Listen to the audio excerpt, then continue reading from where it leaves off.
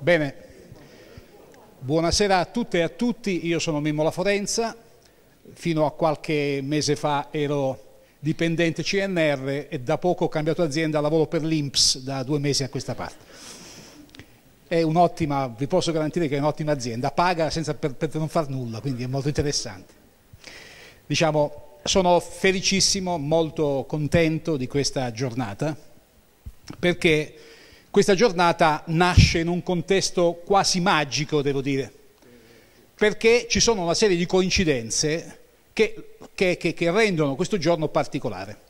La prima coincidenza è legata al fatto, allora cominciamo, ovviamente avete già visto tutto, le origini dell'informatica e del networking, che sono intimamente legate, anche se sono successive come, come, come inizi, e il professor Gianfranco Capriz, che molti di voi conoscete, ma non tutti lo conoscono, dopo lo presenterò, sarà la guest star del, del, del film, docufilm che andrete a vedere. Docufilm che è stato pensato e metabolizzato dal professor Luciano Lenzini, che vi presenterò per quelli che non lo conoscono, e poi diciamo, la, tutta la, la, la implementazione di, questo, di, questa idea di Luciano con Gianfranco Capriz che poi racconta, è stata, in, in, è stata realizzata da Alessandra Valvani, che è una regista che si occupa di attività scientifica in particolare.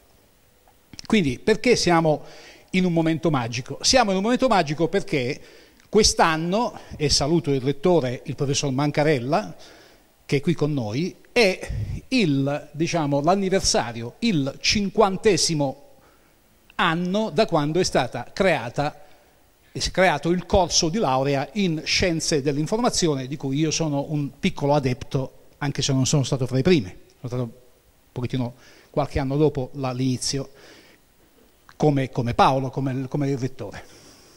Quindi primo evento, ovviamente si tralascia il fatto che nel 69 eh, eh, c'è, stato, c'è stato ovviamente tutta una serie di attività spaziali, la Luna, eccetera, che abbiamo celebrato e ancora si celebrano, ma nel 1969 accadeva anche che il 29 ottobre 1969 la marcia su Roma no, era nel 23, giusto? 28, 28.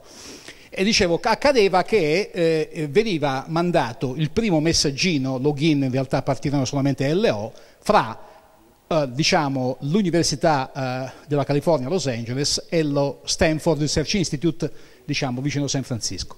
Quindi una serie di coincidenze e vi segnalo due eh, siti importanti, quello dell'università dove c'è un tantissimo materiale molto interessante, storie, fotogra vecchie fotografie, la situazione diciamo, del, del, del, di quello che oggi è il Dipartimento di Informatica, e poi quest'altro sito che sono le origini eh, internet in Italia, che è stato realizzato, e entrambe le cose sono state realizzate con una joint venture economica e organizzativa da parte dell'Università di Pisa e del Consiglio Nazionale di Ricerca, nella, nella fattispecie l'Istituto di Informatica e Telematica.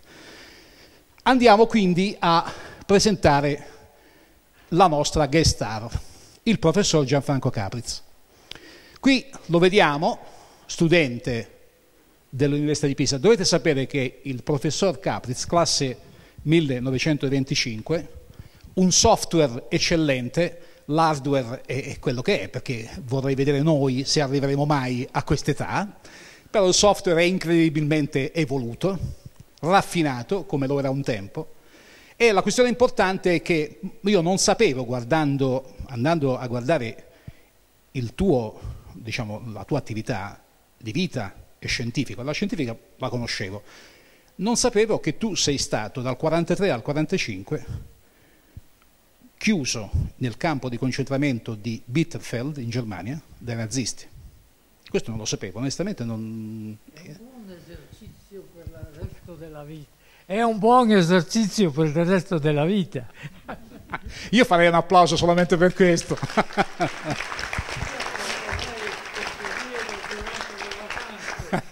No, no, le scuole estive in questo tipo di cose non tenderei a escluderle. Allora, dicevo, il professor Capriz, di cui qui c'è un pezzettino, eh, un pezzettino, vedete che lui è, ti sei iscritto a matematica però a Padova agli inizi, vero, se non ricordo male, forse il primo anno, vero?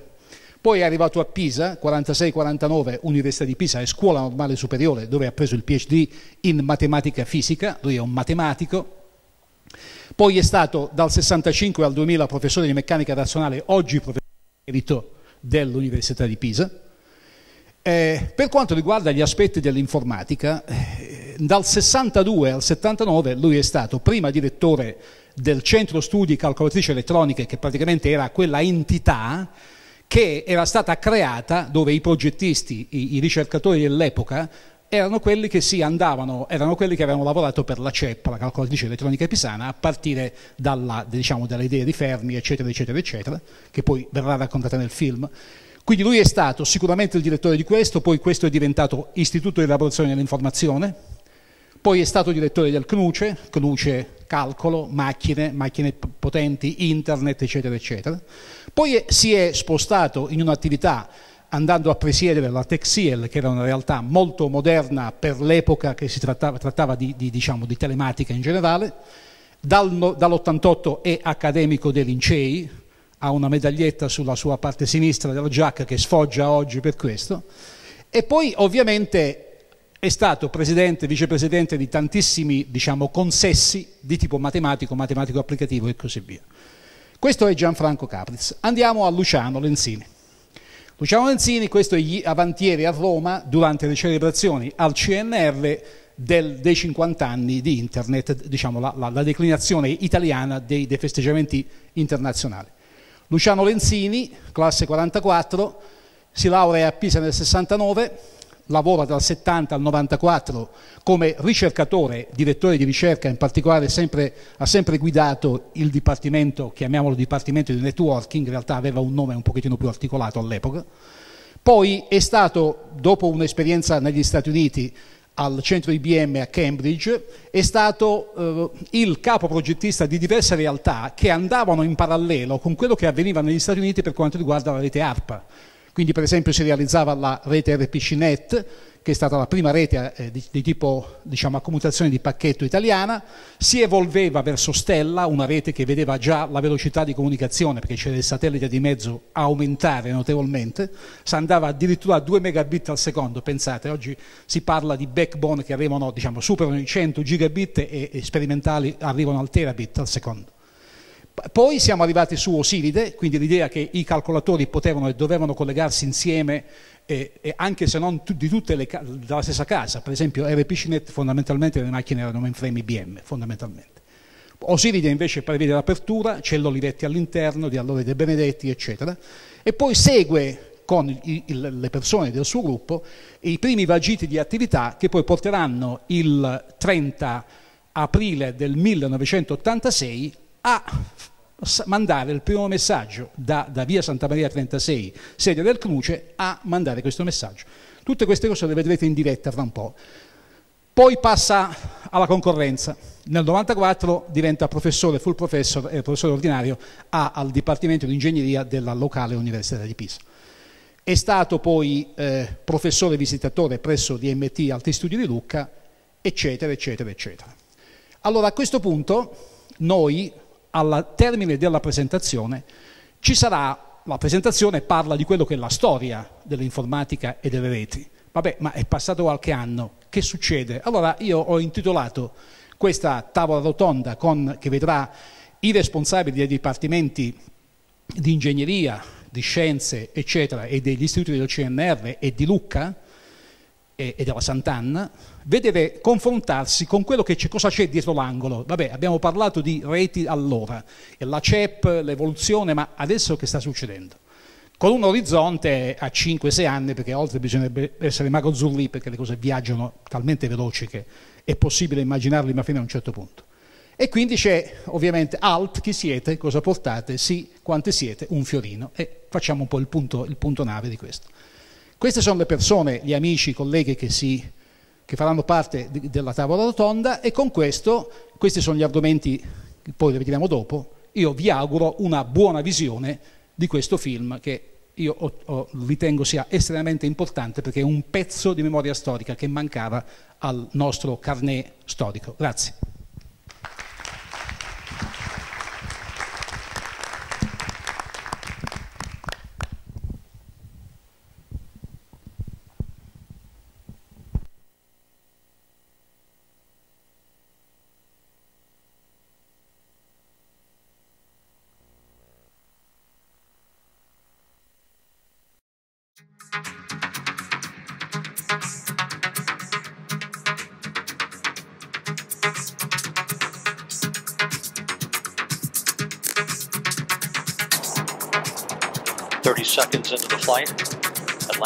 Two miles in altitude, almost six miles downrange from the Kennedy Space Center already. Traveling.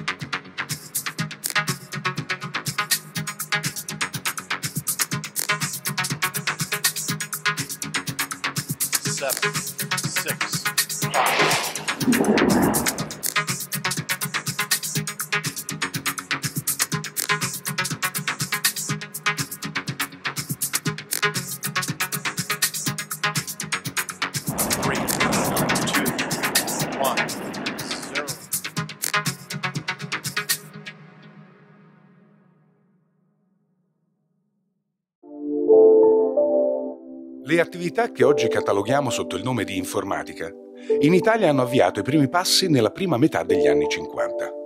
In quel periodo vengono gettati i primi semi che produrranno negli anni seguenti un raccolto copioso e spesso di grande qualità, facendo assumere a Pisa un ruolo rilevante sia a livello nazionale che internazionale.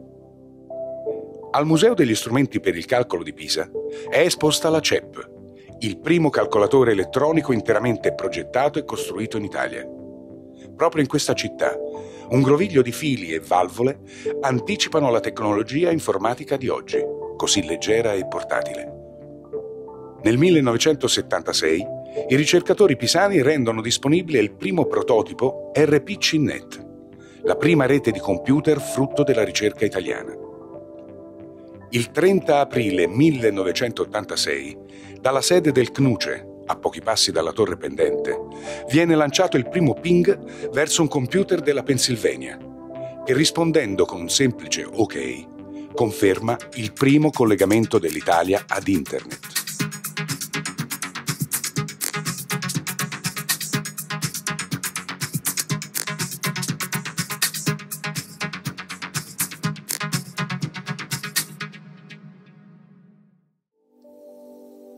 A Pisa sono stati tracciati sentieri che sono diventati strade allora inimmaginabili.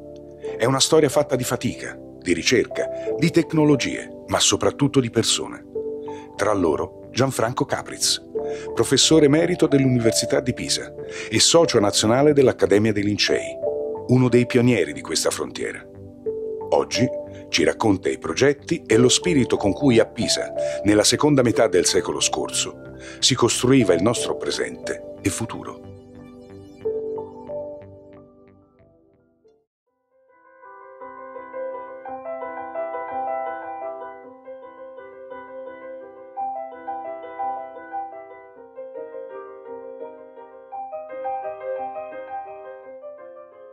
Scusate se io leggo o almeno seguo alcuni appunti, ma mi è stato necessario per dare ordine significativo a ricordi che si sovrappongono per importanza piuttosto che seguire l'ordine temporale effettivo.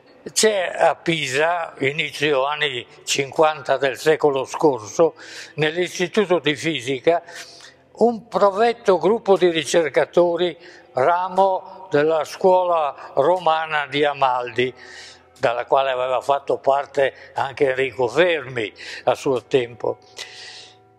Qui il gruppo era guidato da un altro grande fisico, Marcello Conversi. Nei primi anni 50 erano stati proposti, progettati e resi funzionanti i primi acceleratori di particelle, i sincrotroni, macchine che promettevano fondamentali risultati sia sperimentali sia suggerimenti di, di nuove teorie. Il gruppo pisano anelava a costruire uno a Pisa di questi acceleratori e svolse un'azione anche tra le autorità locali per raccogliere i fondi indispensabili. Ci fu qui una risposta eh, favorevole, quasi entusiasta ed efficace, foriera di successo. Ma il Comune di Roma finì col essere più generoso e la scelta della sede per la macchina fu infine Frascati. La somma raccolta a Pisa rimase a disposizione dell'università e si trattò di decidere se e quale progetto alternativo si potesse suggerire.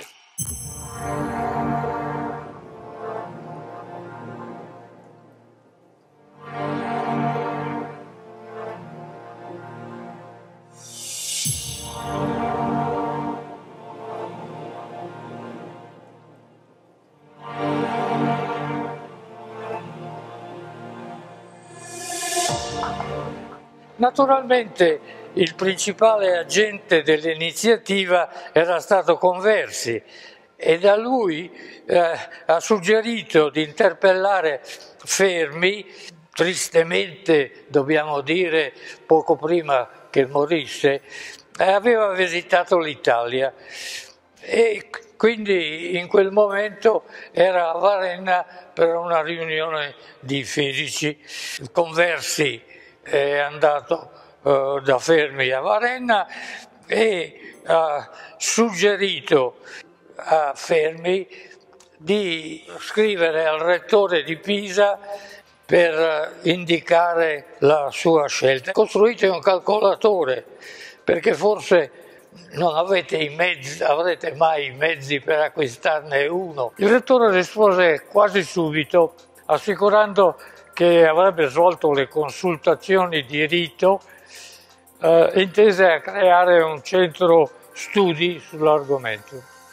In effetti il tempo non fu perso, il rettore riuscì a far approvare in un brevissimo lasso la creazione del centro studi calcolatrici elettroniche CSCE, entro il quale si sarebbero state avviate le azioni necessarie sotto la guida di Conversi, innanzitutto scegliere eh, un gruppo di valenti ed entusiasti collaboratori per un progetto interdisciplinare del tutto nuovo con le conseguenti inevitabili incertezze.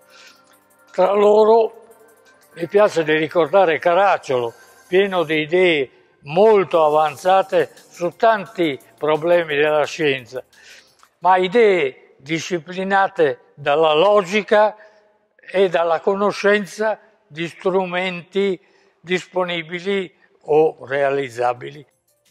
C'era anche da distribuire il lavoro a base di competenze e capacità e di inventare procedure per assicurare collaborazioni strette ed efficaci. Certamente l'elettronica avrebbe avuto una magna pars e si tenga conto che allora prevaleva nella facoltà di ingegneria l'idea che quel campo non meritasse una collocazione autonoma, essendo dopo tutto una scheggia dell'elettrotecnica classica, standard. Dovevano passare due decenni perché Alberigi 40 potesse gloriarsi di essere il primo professore chiamato ad una cattedra di elettronica. Comunque Gerace, laureato in ingegneria, aveva le credenziali per scegliere dispositivi, adattarne qualcuno all'uopo, valutare i costi, ma le scelte naturalmente erano discusse in gruppo e i compromessi dovevano essere raggiunti sotto la guida benigna di Conversi. Preoccupazioni ed aspettative erano condivise da molti altri gruppi nel mondo, anche se la spinta maggiore era stata esercitata da ragioni militari. Anche tra gli scienziati che avevano partecipato al progetto e alla realizzazione della superbomba, vinta la guerra, era nato il desiderio di risolvere via calcoli problemi curiosi e difficili. Al tempo della lettera Fermi stesso sperava di chiarire un fenomeno di propagazione ondosa in cristalli eh, in un reticolo atomico, un problema eh, che richiedeva calcoli estesi, che fu poi chiamato FPU dalle iniziali eh, di, di, quelli che hanno lavorato, fermi e i due collaboratori Pasta e Dulam, appunto. Quindi io credo che anche la sua lettera al rettore sia stata colorata da questa idea eh, che il calcolatore servisse essenzialmente per scopi scientifici e per chiarire alcuni aspetti della fisica, principalmente dato suo, i suoi interessi, eh, una volta per tutte.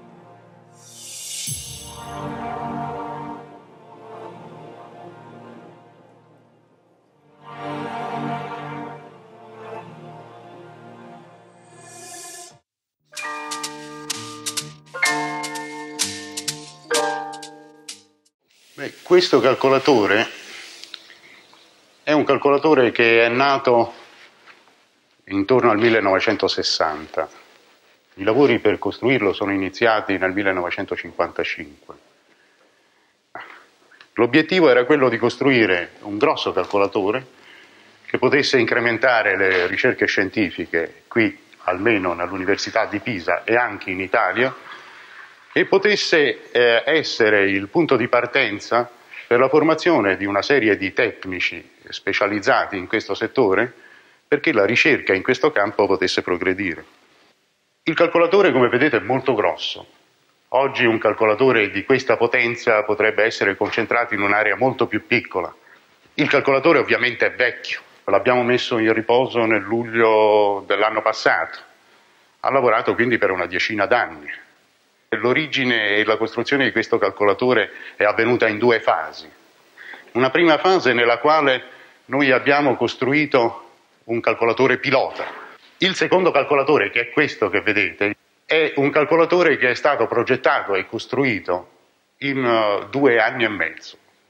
Mentre il primo è stato in linea assoluta il primo calcolatore costruito in Italia e progettato, questo quando fu finito era uno dei più potenti calcolatori allora esistenti anche in Europa.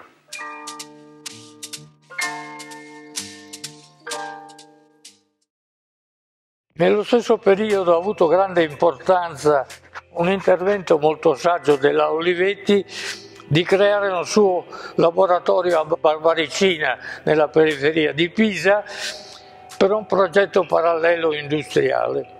Purtroppo lo scienziato geniale che guidava quel gruppo, Mario Ciu, è poi morto in un incidente stradale e ne è seguito il trasferimento del gruppo in una sede presso Milano e la collaborazione ben possibile ed augurabile si è sostanzialmente interrotta.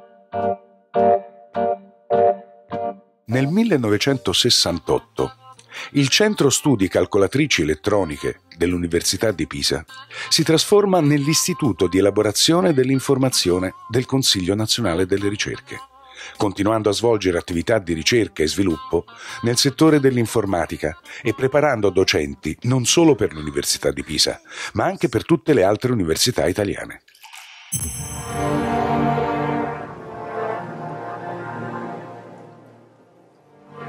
La CEP, per quanto abbia svolto ottimamente il suo compito, a un certo punto non è stata più in grado di soddisfare le richieste di calcolo scientifico provenienti dal mondo della ricerca italiano.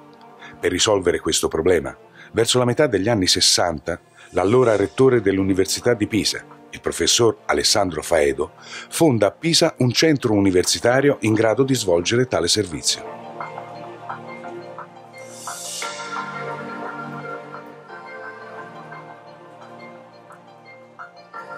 Nel continuare la storia lasciando questo, eh, devo dire che a questo punto incontriamo due altri personaggi forse di gran lunga più influenti alla nostra storia di quelli precedenti. Uno Alessandro Faedo, un rettore veramente magnifico dell'Università di Pisa, e Carlo Santa Croce, allora vicepresidente dell'IBM Italia, grande amico di Faedo fin dai tempi quando erano studenti in normale.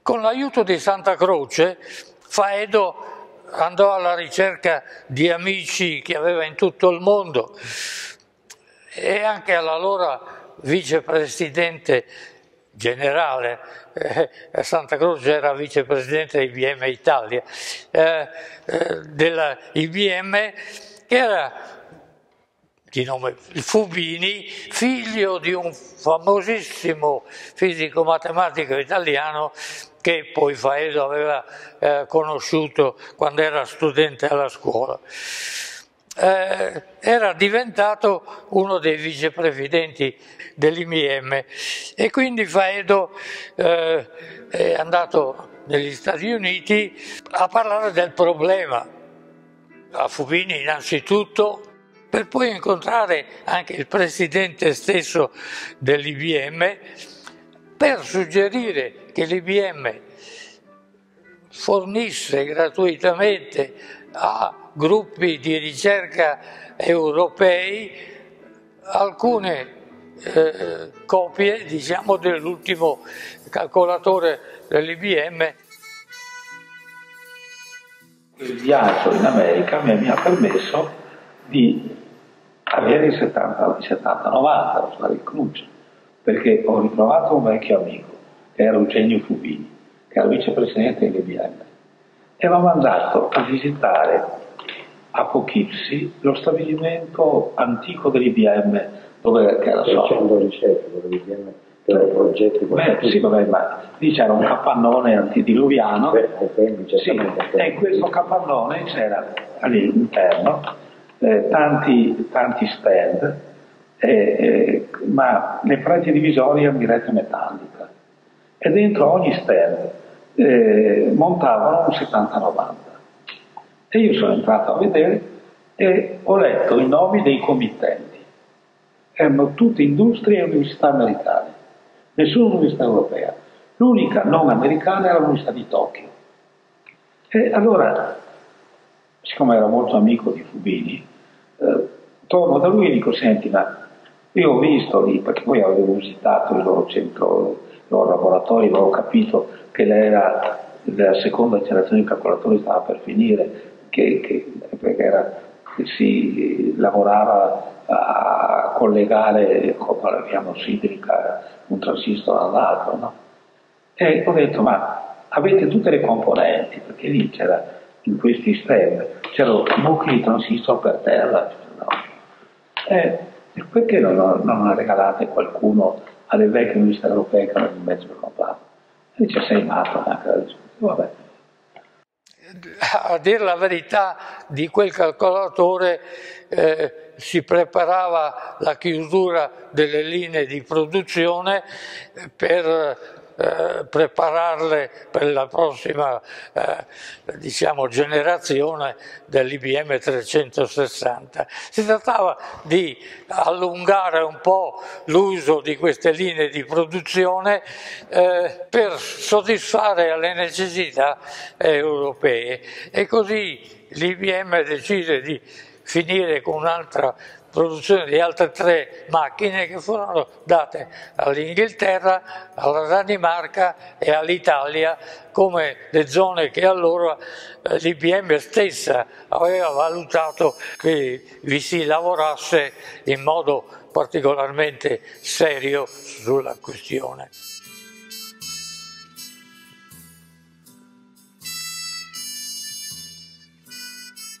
Torno in Italia tre mesi dopo mi telefona, mi telefona lui e dice, sai, dice Fra, quella tua idea ci ho ripensato, si può realizzare. Costruiremo 3,70-90. Uno per l'Università di Londra, che è la madre della città anglosassone. Uno per un paese del nord Europa, uno per un paese del sud Europa. Se tu mi garantisci che il governo italiano accetta il dono, lo diamo all'Italia. Allora io sono andato, era, era presidente Moro, eh, ministro voi, sono andato a dirgli, e sai cosa sta E poi diceva vogliono dare. Allora pure fosse una fregatura. E io ho detto, se non lo vogliamo noi, la Francia se lo piglia subito. Allora ho risposto a lui che, che accettavamo. E un anno dopo, eh, allora hanno costruito il Santa Rovata, un anno dopo, eh, nel grande albergo di Roma, in via, eh, in via Veneto, eh, l'IBM, una cerimonia, ha consegnato al governo italiano il 70-90. E il discorso l'ha fatto Carlo Santa Croce, che allora era vice direttore generale dell'IBM Italia. E eravamo, erano stati invitati tutti i rettori dell'università italiane e io ero accanto a Papi, che era il rettore di Roma, e Papi fa, questo calcolatore deve essere dato all'Università di Roma, che è la più grande università italiana. Ho detto, ma dico, che sia la più grossa sono d'accordo, sulla più grande bisogna fare un'analisi storica di quello che sia. E Gui, che è uno dei più grandi galantuomini che abbia conosciuto, che era deputato di Padova, e poteva dare all'Università di Padova, perché era dato, il dava al governo italiano, non a una università. Certo, quindi era un buon nazionale. Eh, sì. E quindi è stato il Ministero a destinare. Si capisce. Lui poteva darlo a Padova. Certo. Lui ha detto subito, no, questo va dato all'Università di Pisa perché l'abbiamo avuto per interessamento del professor Paese. Ci fu anche la questione di discutere Pisa o Roma, perché Roma padrona funzionava anche allora, ma Faedo funzionava anche meglio e eh, naturalmente il calcolatore è stato poi assegnato a Pisa. Il 5 luglio del 1965 viene firmata la convenzione tra l'Università di Pisa e l'IBM Italia per l'istituzione del Centro Nazionale Universitario di Calcolo Elettronico, o CNUCE. Il CNUCE nasceva con il compito di svolgere un servizio di calcolo tecnologicamente avanzato per la comunità scientifica nazionale, grazie al suo calcolatore IBM 7090. Il centro aveva anche il compito di svolgere attività di ricerca per innovare costantemente il servizio.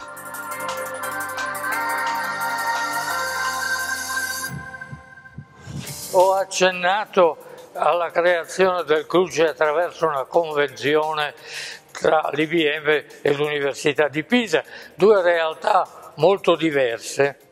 Naturalmente il fatto a cui le università non erano affatto preparate di offrire un servizio per una comunità distribuita su un territorio molto più vasto di quello a cui facevano riferimento di solito le università.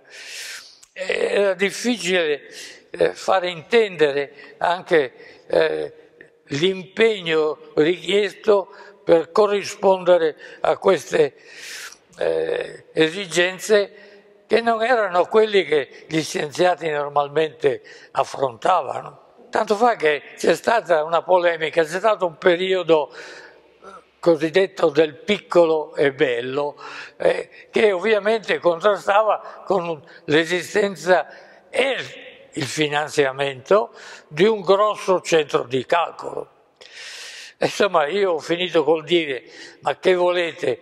Che invece della normale facciamo tante normaline distribuite, che invece del cruce facciamo tanti crucini distribuiti. Adesso eh, questo mio discorso può far ridere, ma tenete conto che c'erano anche le esigenze diciamo, dell'università un po' periferiche di entrare nel campo che ormai si chiamava informatica, anche se con calcolatori di dimensioni più piccole alimentavano le polemiche contro il CNUCE.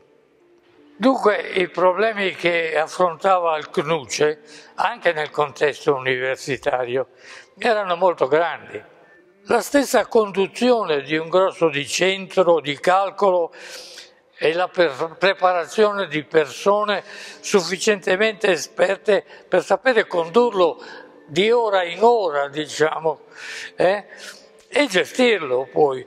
Sono problemi molto complessi per l'università, che non è preparata a attività di questo genere. Quindi eh, si doveva creare, si è creato a Pisa una realtà di persone competenti che non esistevano in generale e che anche l'IBM Italia aveva difficoltà a reperire, diciamo così, sul mercato del lavoro. Nel 1974 il personale ed il parco macchine del CNUCE hanno assunto dimensioni tali da non poter essere più gestiti dall'Università di Pisa. Il CNUCE, da centro dell'Università di Pisa, diventa quindi un istituto del CNR. Naturalmente eh, stavo dicendo che comunque eh, il Cruce ha sviluppato anche argomenti di ricerca, cito due, altre se volete un po' minori, ma che hanno avuto eh, anch'esse delle conseguenze più ristrette, magari se volete. Una è eh, la linguistica computazionale. In fondo ha richiesto eh, catene di stampa diverse, molto variate, eh, l'intervento di persone del tutto aliene da questo tipo di lavoro della facoltà di lettere. Studiare all'aria aperta era una prerogativa degli antichi, ma anche queste due studentesse pisane, primavera permettendo, non disdegnano di seguire i vecchi metodi sul prato della Piazza dei Miracoli.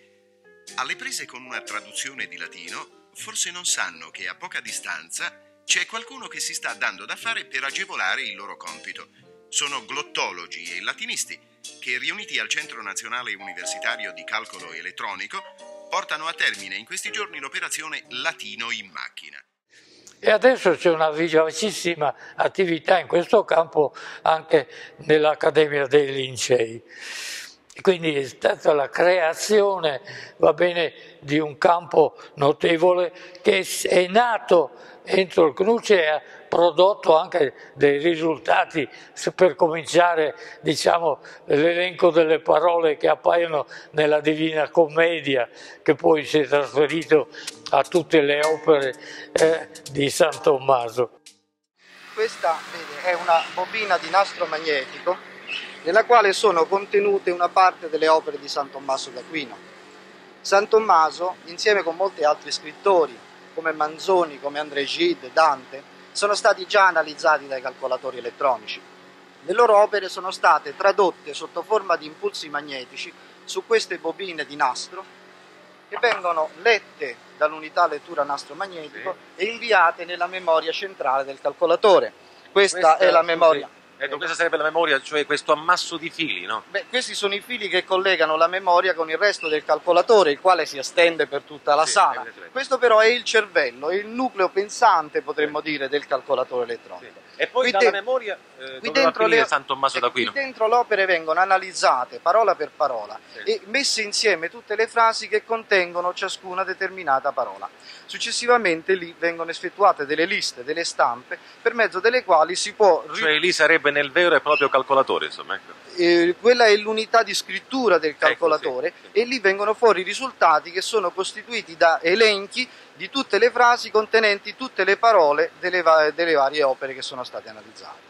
Quindi praticamente si procede alla elaborazione di queste parole e si può fare un confronto tra parole e parole, parole. Certamente, le parole vengono elaborate esattamente come il calcolatore può elaborare dei numeri, soltanto che in questo caso invece di eseguire operazioni aritmetiche esegue operazioni logiche, operazioni di confronto.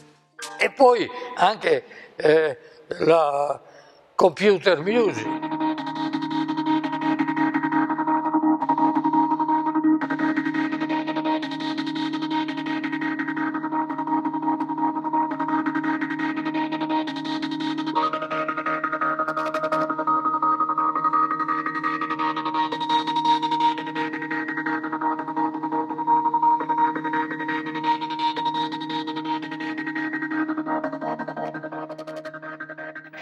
Adesso richiamo in memoria un brano di Paganini memorizzato precedentemente su disco, lo richiamo alla memoria centrale e verrà eseguito.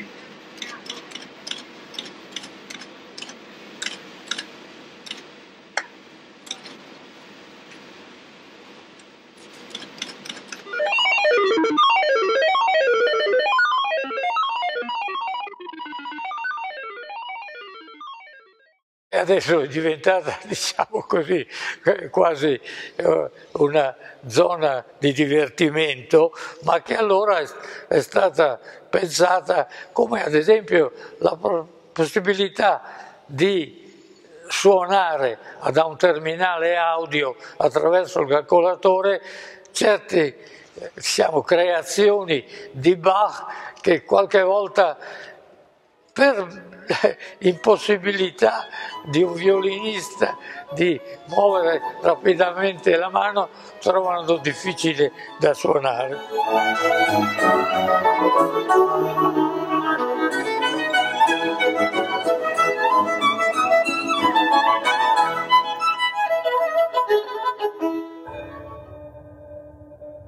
Veniamo quindi a un altro argomento ed è quello dello spazio che è stato completamente dimenticato.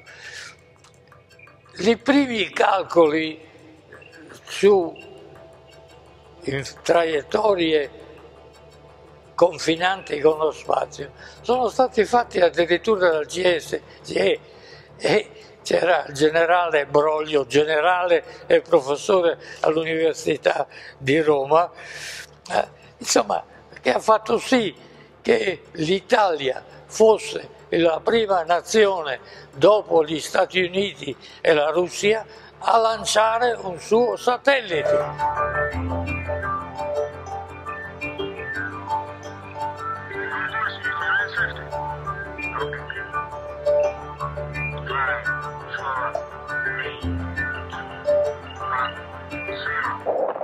Il 15 dicembre di 50 anni fa, dalle coste della Virginia a Wallop Island, l'italico San Marco veniva lanciato nello spazio. L'Italia era così il terzo paese, dopo gli Stati Uniti e l'Unione Sovietica, a conquistare il cosmo. E i calcoli per questo sono stati cominciati addirittura al GSC per vedere che i primi lanci da Puerta di Fegos in Sardegna non finissero per colpire Roma ma cadessero nel Tirrenio e poi naturalmente per il lancio da una piattaforma dell'Eni eh, vicino alle coste del Kenya. E anche questo ha portato delle competenze di controllo dei satelliti che poi sono servite per molti anni, ovviamente anche per raccogliere esperienze e conoscenze nella guida dei satelliti e comunque nelle traiettorie spaziali eh, sono state la conseguenza di periodi passati negli Stati Uniti e anche nella importazione dai centri dove effettuavano questi calcoli correntemente di pacchetti di programma eh, che sarebbero stati poi trasferiti sul calcolatore del 12.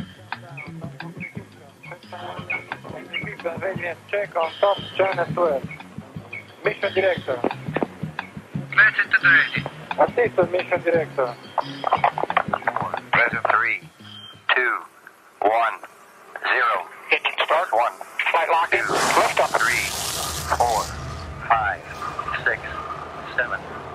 Esattamente alle ore locali, 19.50 del 25 agosto, si accende dalla rampa 17B il primo stadio del Tordenza 2313.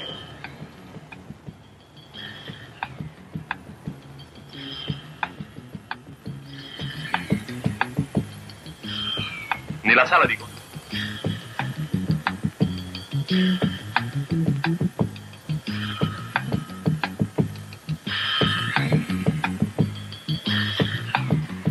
Mi avvio adesso a parlare di reti, che è poi l'argomento principale di questa conversazione. per introdurre la questione, mi piace ricordare i primi scontri tra le industrie manifatturiere dei calcolatori eh, e quelle che allora si chiamavano società telefoniche. E ho partecipato a Parigi a una delle prime, credo la prima, riunione tra produttori di calcolatori e dirigenti di società telefoniche europee, i francesi, i tedeschi, gli italiani. i dirigenti delle società telefoniche erano tutti in giacca e cravatta come sono io adesso, ma naturalmente in abito scuro usavano espressioni come enchanté, monsieur le président. Viceversa, i calcolatoristi si incontravano, davano delle grandi pacche sulle spalle. Hey John, how are you? How is your wife? E utilizzavano appunto espressioni così familiari anche se distanti geograficamente eh, da continente a continente. Il contrasto era poi naturalmente essenzialmente tra quello che volevano usare le te linee telefoniche il più liberamente possibile e quelli che imponevano delle eh, limitazioni anche di costi assolutamente inconcepibili e questo eh, fatto ha portato infine come primo compromesso all'accettazione da parte delle società telefoniche europee di una rete rivolta alla ricerca e alle università.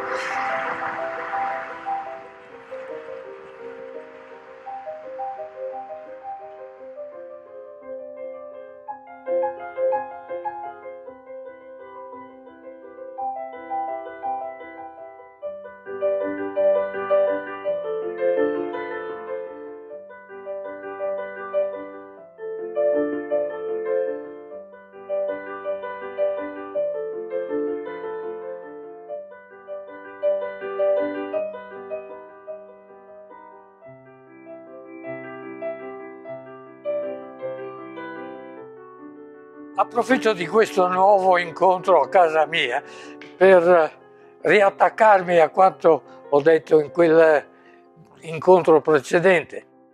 Per poter offrire un servizio tecnologicamente avanzato, al CNUCE nasce e si concretizza l'idea di ricerca finalizzata al servizio.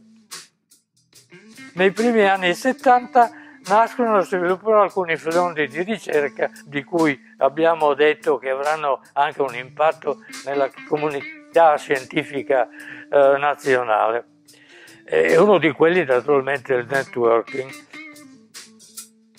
Negli anni 70 e 80 al CNUCE vengono sviluppati tre progetti pionieristici nell'ambito del networking, cioè lo studio delle reti di computer. Questi progetti regalano al CNUCE e ai suoi ricercatori una notevole reputazione scientifica e visibilità non solo nazionale ma anche internazionale. RPCNet, la prima rete nazionale di computer tipo ARPANET. Stella, la prima rete europea di computer via satellite. Osiride, una tra le più importanti reti a livello mondiale, conforme agli standard OSI dell'ISO. Questa attività pionieristica culmina nel 1986 con il collegamento dell'Italia ad Internet.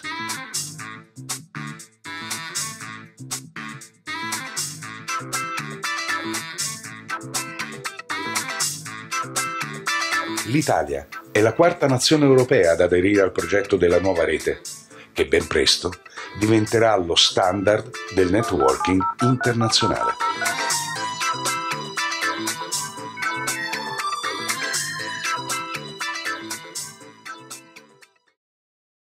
I primi passi sono stati quelli di Arpacinet. Eh, a Pisa il rettore dell'università Faedo e il direttore del CNUCE Torrigiani allora intravidero in questa rete un'opportunità straordinaria non solo per svolgere studi e ricerche in un settore scientifico di avanguardia, ma anche per valutare l'impatto che tale tecnologia avrebbe avuto nel modo di erogare il servizio.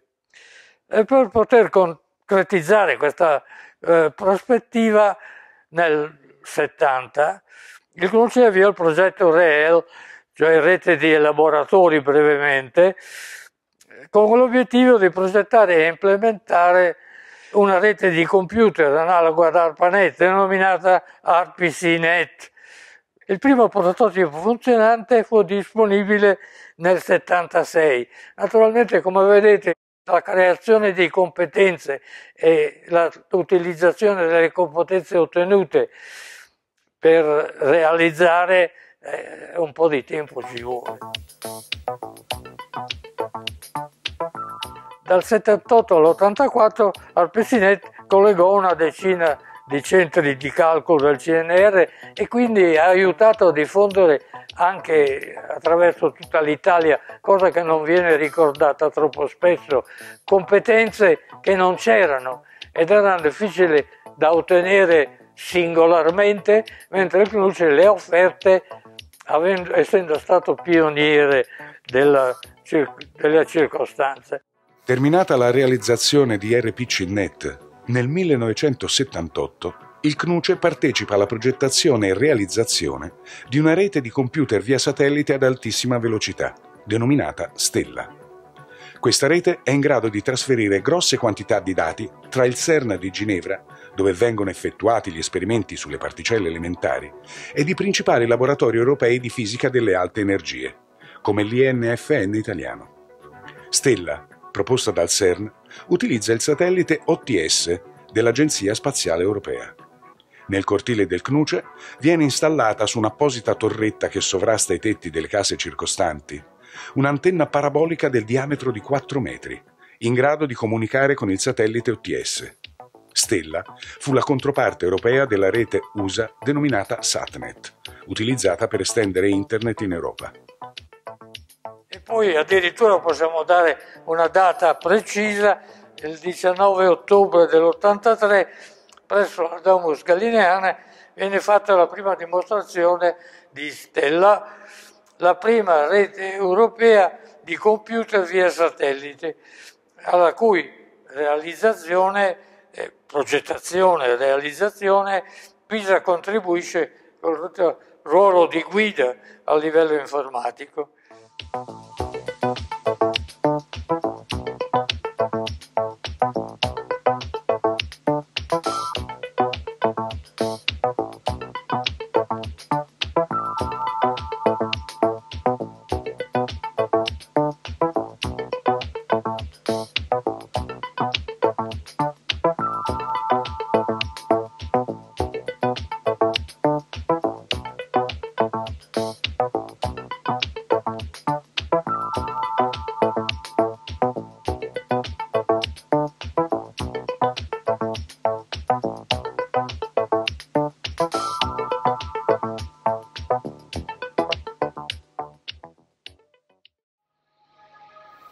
La rete RPCNet ebbe un notevole successo tra gli utenti del CNR e delle università, ma dopo i primi anni di operatività si pose il problema di una sua evoluzione.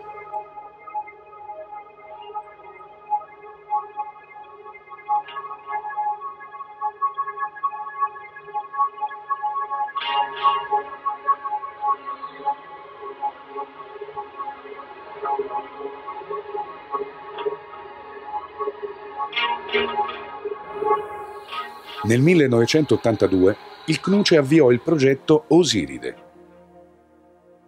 con l'obiettivo di realizzare una rete di computer conforme all'architettura Open Systems Interconnection dell'ISO. Si trattava di un'architettura condivisa dai costruttori di computer, che però in seguito non ebbe il successo sperato. Internet, infatti, era basata sull'architettura TCP/IP alternativa all'OSI.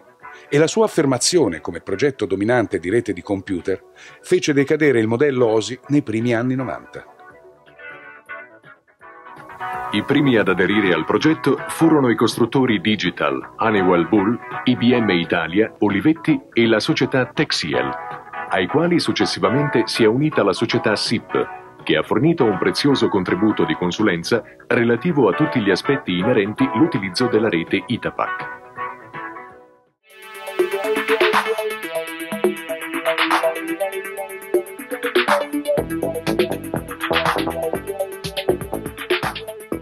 Importante ricordare che in quel periodo Il CNUCE e la società Texiel, uno dei partner del progetto Osiride, erano in contatto diretto con i laboratori sia degli Stati Uniti che europei, dove veniva sviluppato il software OSI. In particolare mi piace ricordare un evento che si svolse al CNUCE verso il 1985, durante il quale il presidente del CNR, della Olivetti e il presidente della FinSIL firmarono un contratto di collaborazione.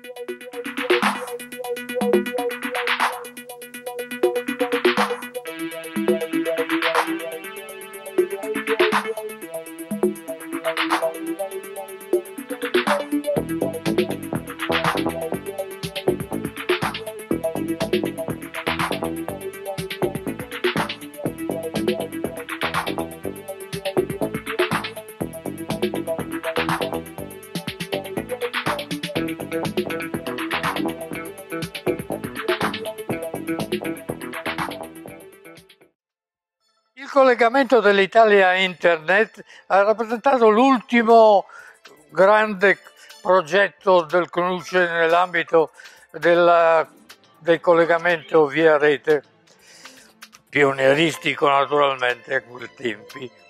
Il primo pacchetto di Internet italiano ha attraversato l'Oceano Atlantico il 30 aprile del 1986 consentendo all'Italia di essere tra i primi a, a collegarsi eh, con la ARPANET negli Stati Uniti.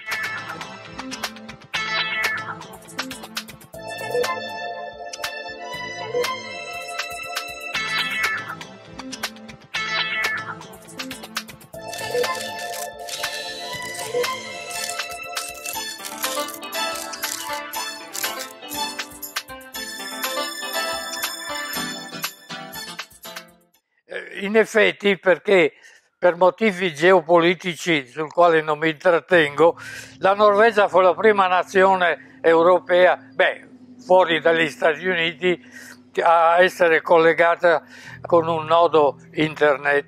Poco dopo il collegamento norvegese si realizzò il collegamento con il Regno Unito attraverso il gruppo di ricercatori dell'University College di Londra, che peraltro ebbero delle, grosse difficoltà, con le quali eh, abbiamo incontrato anche noi, ma naturalmente prima di tutto occorreva prendere un contatto con gli americani, in particolare con una persona molto simpatica, Bob Kahn, che io sono andato a trovare mentre ero professore visitatore alla Johns Hopkins. Eh, e lui mi ha accolto nel suo studio con grande cordialità, disponibilità, anche incoraggiamento ed erano interessati loro stessi alla creazione di nodi al di là dell'Atlantico o del Pacifico in definitiva.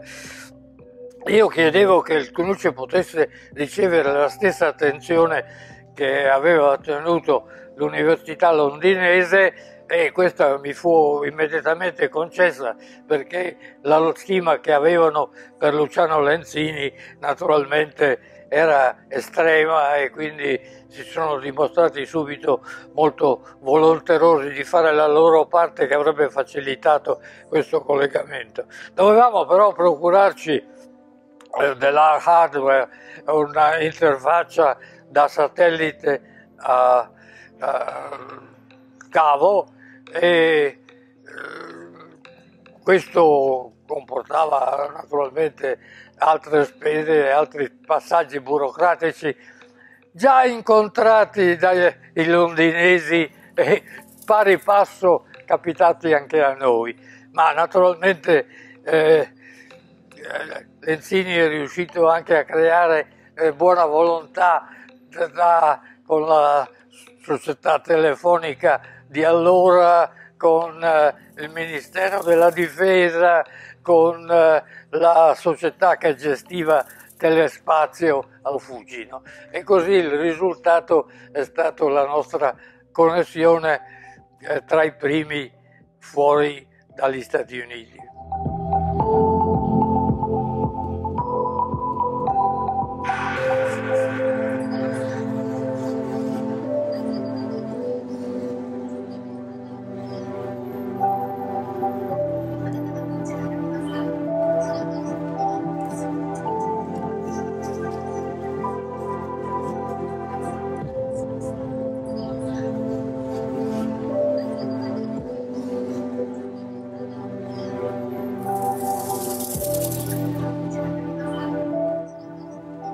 Collegamento dell'Italia a Internet fu possibile grazie anche alla notevole collaborazione che Bob Kahn e Vince Cerf fornirono al CNUCE e per questo il 26 maggio del 2006, su proposta di Luciano Lenzini, il rettore Marco Pasquali dell'Università di Pisa conferì ai due illustri scienziati la laurea honoris causa in ingegneria informatica. Now the Chancellor is delivering the honoris causa diploma in information technology engineering to Dr. Cerf and Dr. Khan.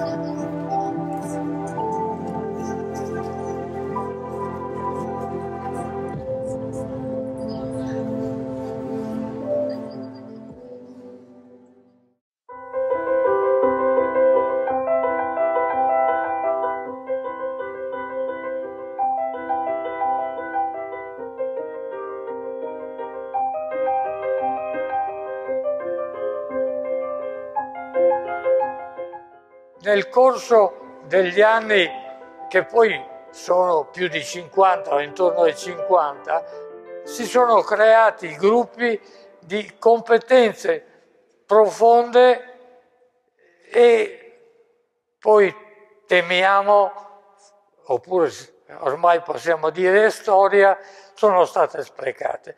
Innanzitutto il CNUCE è nato come struttura che doveva offrire un servizio, non solo un servizio, ma tecnologicamente avanzato e molto, eh, diciamo, impegnativo per il personale.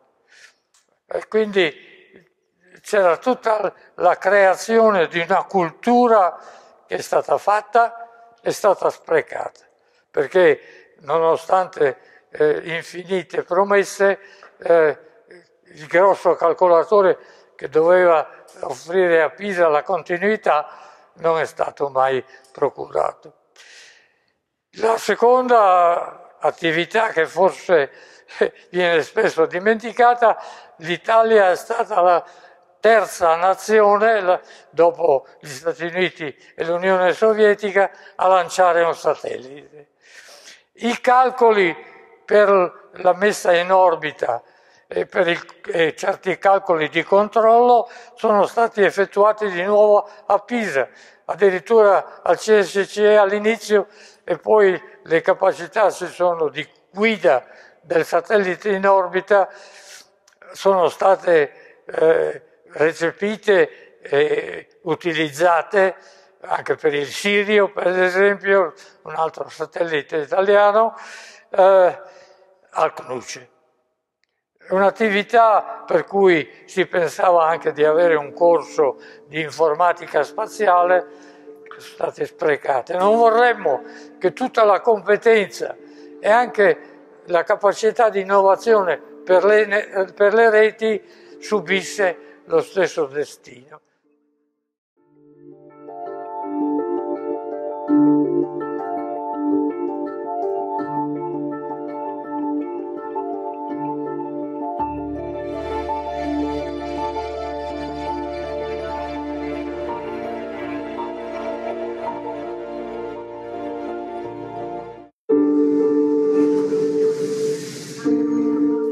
Segnali che arrivano dal mondo della ricerca sul quantum computing e sul quantum networking sono stimolanti e incoraggianti.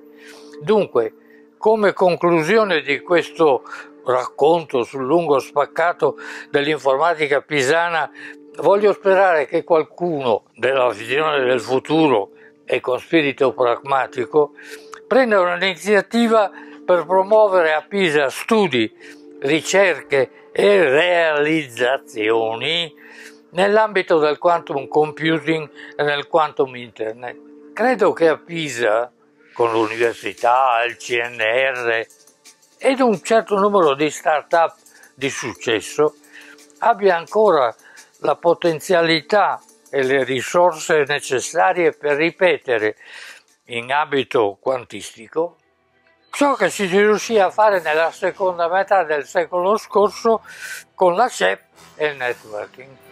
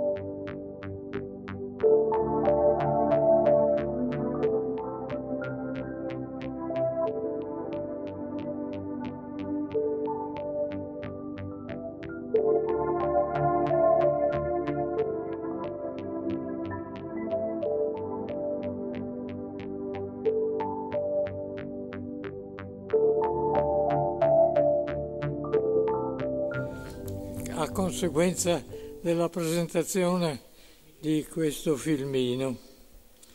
Mi hanno concesso gli organizzatori eh, eh, di svolgere alcuni commenti al filmino, naturalmente di cui ha avuto parte, eh, diciamo così, sostenitrice e addirittura dai, muovetevi, fate presto, eccetera.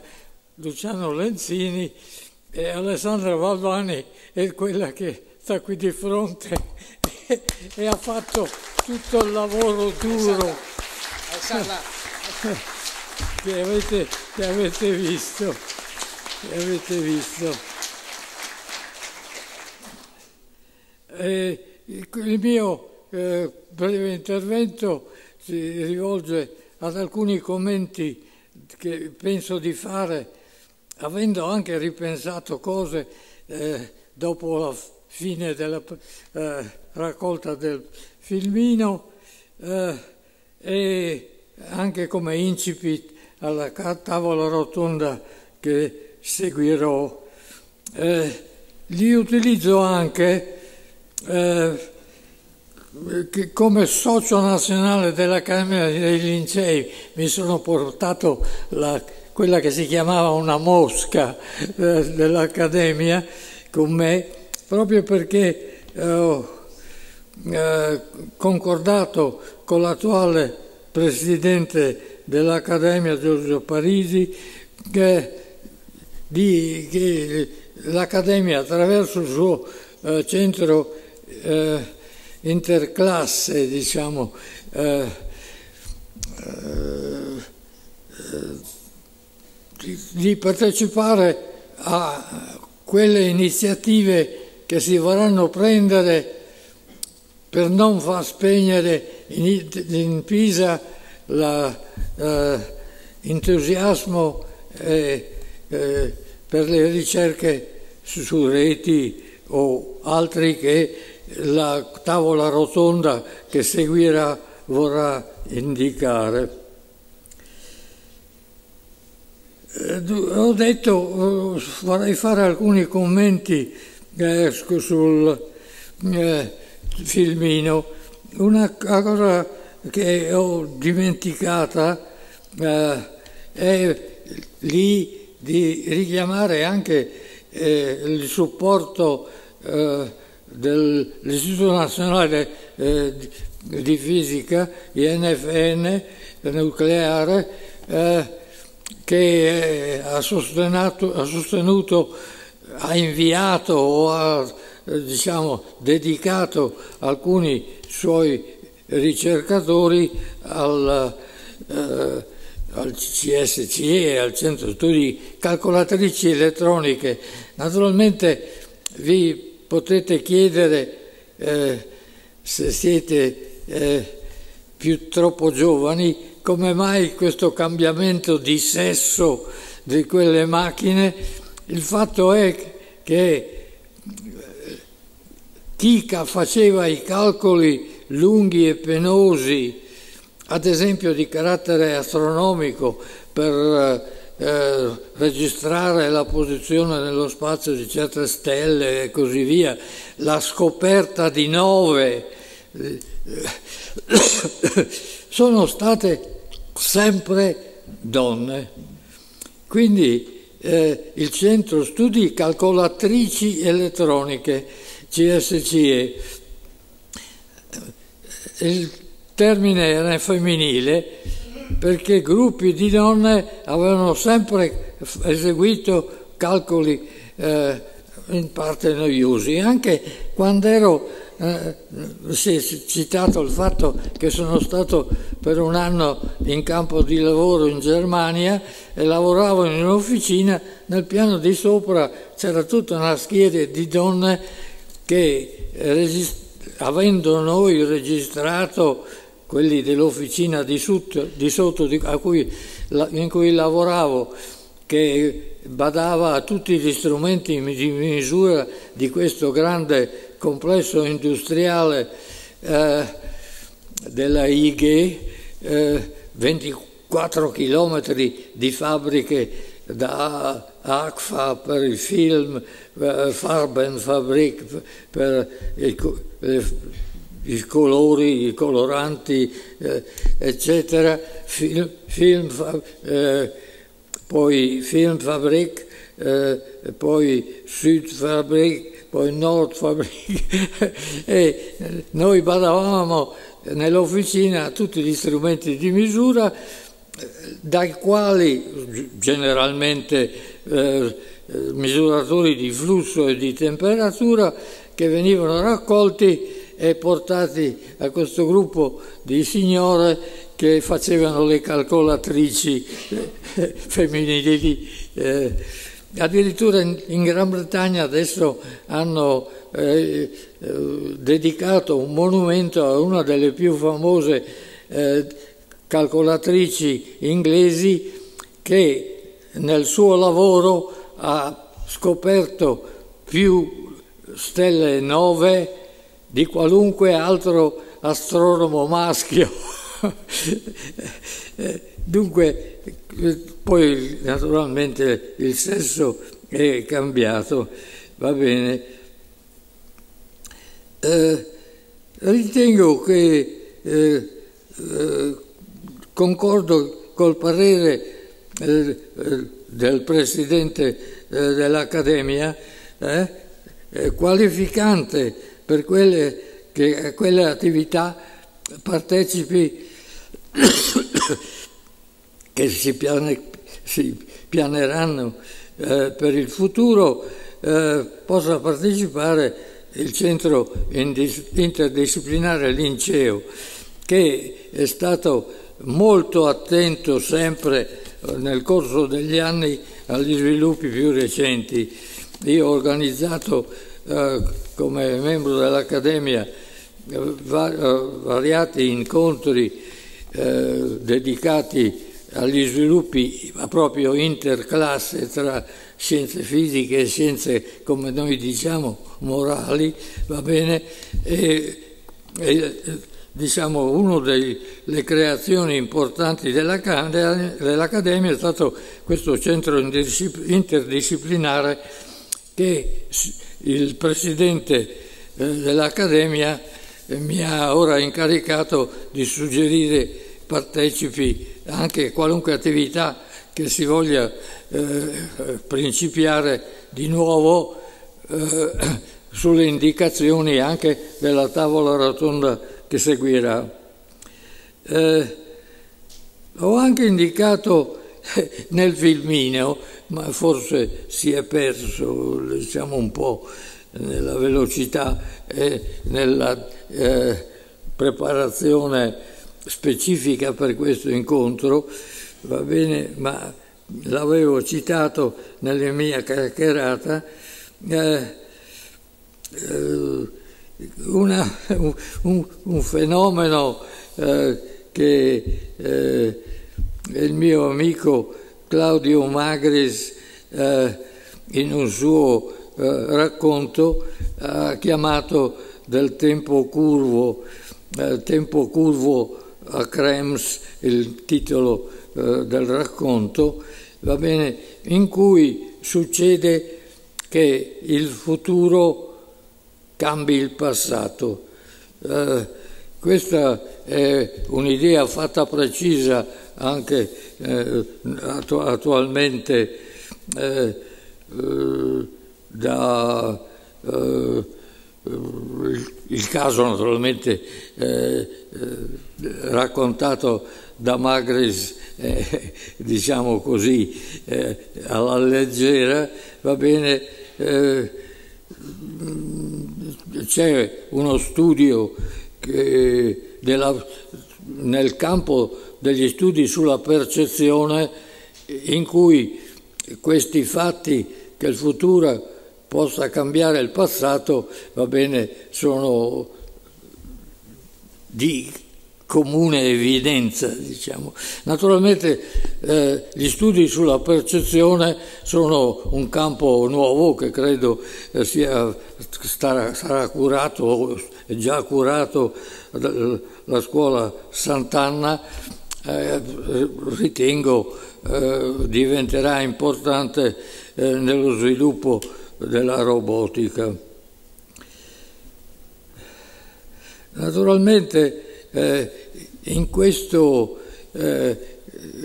modo di inquadrare certi fatti avvenuti, si può dire che l'esempio della storia che avete sentito contiene molti casi di tempo curvo, perché eh, in sostanza eh, c'è stato generalmente, e da Pisa in particolare, il mito della eh, previsione eh, fatta da Fermi, va bene, eh, saggia e eh, quasi miracolosa, che i calcolatori avrebbero condotto anche a fare delle scoperte fondamentali nel campo fisico.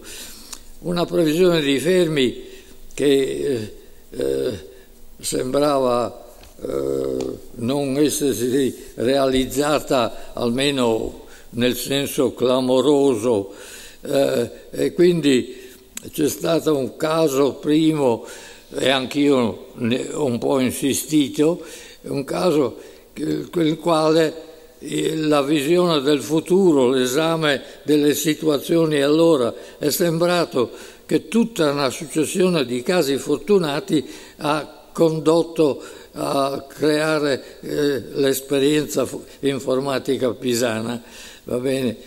Ma quello che prevedeva eh, effettivamente Fermi eh, non sembrava realizzarsi. Eh, quindi è un primo esempio di eh, tempo curvo perché qualcosa che si riteneva in passato il futuro lo ha modificato. Eh, in effetti, poi, come sapete, eh, il CERN ha costruito una rete di laboratori associati, tra un minuto finito, di laboratori eh, associati eh, molto estesa, tutti insieme aventi la capacità di esaminare milioni di fotografie di eventi eh, subatomici che hanno condotto a, a provare che esiste il mesone di Higgs. Eh, naturalmente questa eh, scoperta ha fatto eh, assegnare un premio Nobel, quindi sicuramente abbiamo un esempio qui di un uh, processo biscurvo in quanto queste previsioni eh, di Fermi prima sembravano eh, essere eh, false, poi adesso sono diventate importantissime.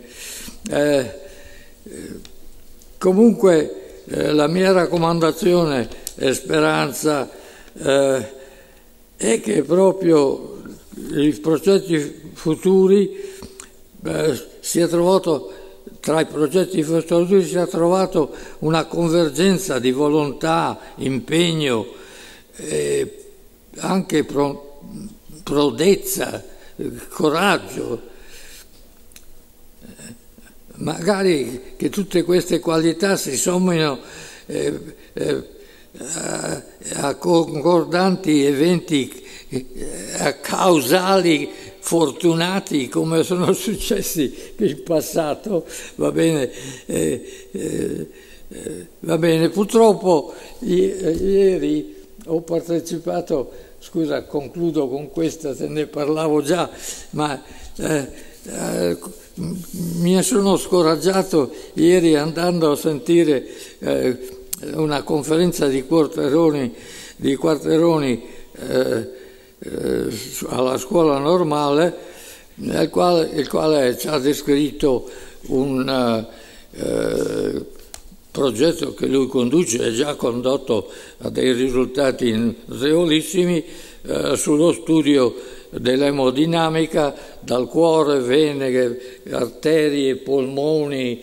eh, aggiungete eh, eh, flusso nel, eh, nella parte molle delle ossa e così via, viene tutto eh, trasferito su un calcolatore in un sistema di grandissima complessità con nuove indicazioni anche in casi patologici eh, particolari e mi è dispiaciuto di constatare che nessuno dei ricercatori dell'Istituto di Fisiologia Clinica del, del CNR non era lì, forse non è stato avvertito. Era, eh, ho chiesto proprio c'è qualcuno che e così via.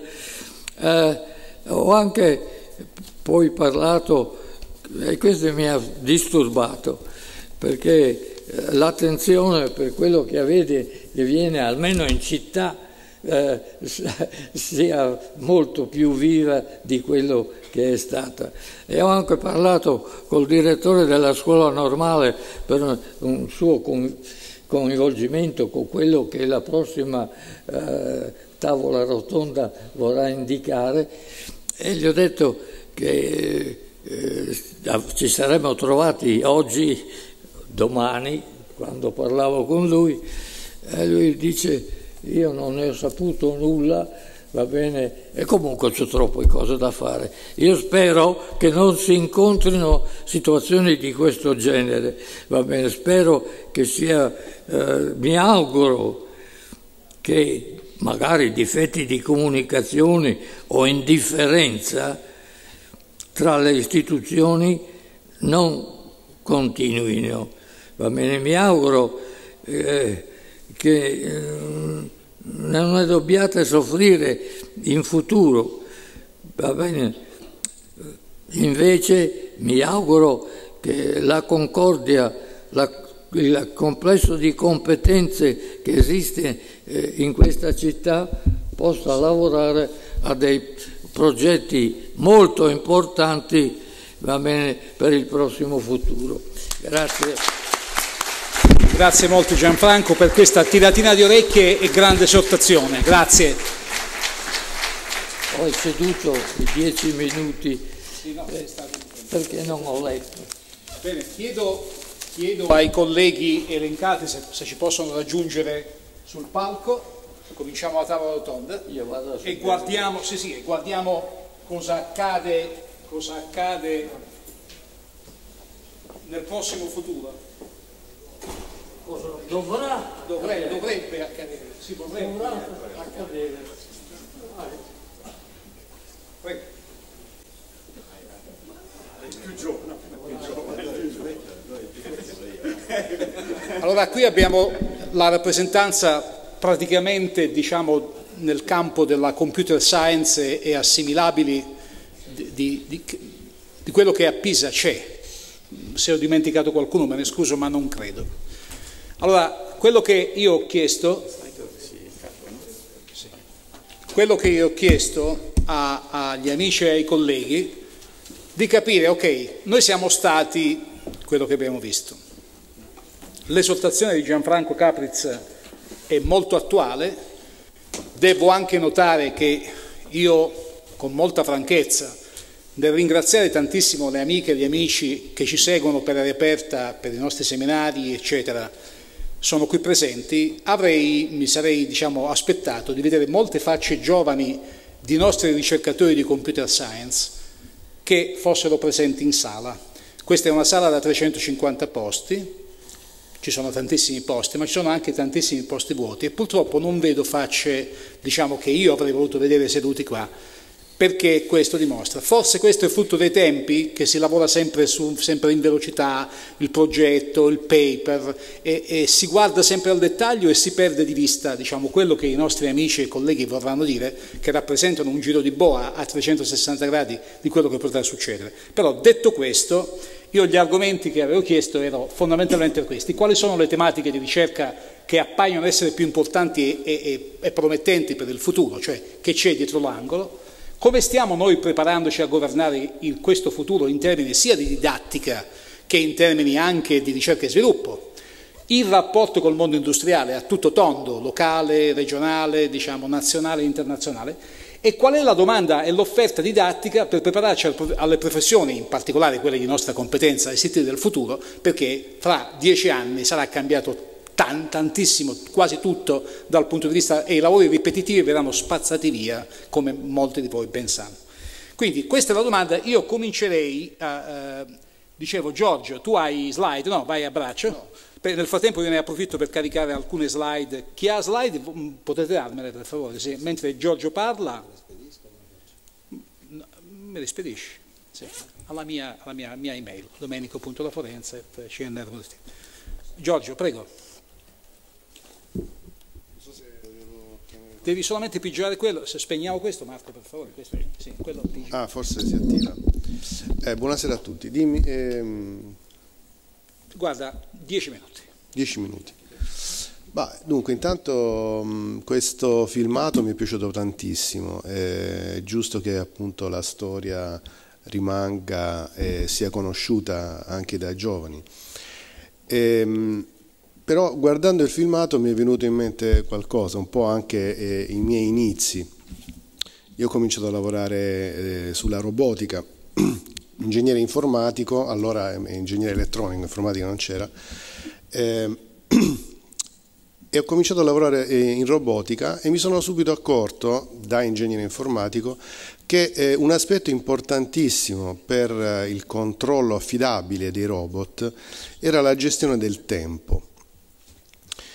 Quindi eh, riuscire cioè a controllare a, mm, non solo la funzionalità, quindi un algoritmo che controlla un robot, fa, gli fa fare quello che vogliamo, ma eh, farlo bene o male, mi sono accorto, dipendeva molto dalla, da quanto bene si riusciva a controllare l'esattezza del tempo della comunicazione, dei, dei, dei messaggi che si inviavano, dell'acquisizione sensoriale e questo mi ha portato via via a, a studiare eh, una, una, disciplina allora nuova ehm, che, che, poi è quella che si chiama oggi eh, real time computing. Quindi, che non significa, eh, quando uno di solito eh, sente parlare di real time, eh, pensa alla velocità, no? Fare le cose subito, veloce, velocemente. Eh, in realtà ehm, real, time computing, real time computing si occupa della prevedibilità, di, di riuscire a controllare appunto il tempo a prescindere dalla velocità. E in questi anni, da quando ho cominciato, nel, nel, io eh, appunto ricordo benissimo nel, nell'86 facevo la tesi, eh, avevo finito di fare la tesi, stavo, ehm, lavoravo come, all'inizio come assegnista, ora, ora, allora non si chiamavano assegnisti, insomma. E ricordo appunto i, i primi messaggi via, via internet, no? il collegamento via internet, poi ero andato negli Stati Uniti e quindi eh, sfruttavo questa possibilità per comunicare, per mandare semplici messaggi. E quindi ehm, cosa, mi sono accorto da, da quegli anni eh, fino ad oggi che i calcolatori hanno avuto una, un enorme progresso in termini di velocità, no? Però i problemi di tempo sono rimasti sempre gli, stessi. Perché? Perché? Perché è vero che le piattaforme di calcolo evolvono, diventano sempre più veloci, ma è vero anche che evolvono i requisiti le applicazioni diventano sempre più complesse, quindi richiedono de, delle tempistiche sempre più stringenti. Quindi la, la, sentendo appunto, arrivando anche addirittura ai calcolatori quantistici, uno potrebbe dire con il calcolatore quantistico avremo risolto eh, tutti i problemi di tempo. Io non credo sia così. E quindi un aspetto che io ehm, reputo importante anche di ricerca è che sicuramente le nuove piattaforme, lo vediamo anche oggi, le, le piattaforme eterogenee, ora non esiste più il, il processore singolo, no? le piattaforme di calcolo moderne eh, sono piattaforme che comprendono mh, processori multicore, addirittura diversi fra di loro, comprendono processori grafici, cosiddette GPU, eh, hardware programmabile, sono tutti pezzettini che vengono messi insieme per cercare di eh, rendere eh, il calcolo sempre più efficiente, veloce. Ecco, gestire queste piattaforme, che chiaramente continueranno a evolvere, è una delle sfide dell'informatica perché eh, l'hardware probabilmente evolve più velocemente del software e quindi riuscire a, a gestire un software, riuscire a, a renderlo prevedibile e, e affidabile, sicuro e, e per i sistemi che, che, verranno, si parla di, di, di robot autonomi, di sistemi intelligenti, automobili e autonome. Tutti questi sistemi cosiddetti safety critical, cioè estremamente critici, hanno bisogno di essere gestiti da un software altrettanto affidabile e quindi eh, a mio avviso uno del, degli aspetti di ricerca fondamentali è proprio quello di riuscire a, a sviluppare delle metodologie che eh, riescano a garantire una certa affidabilità eh, al, al software, del software che si sviluppa.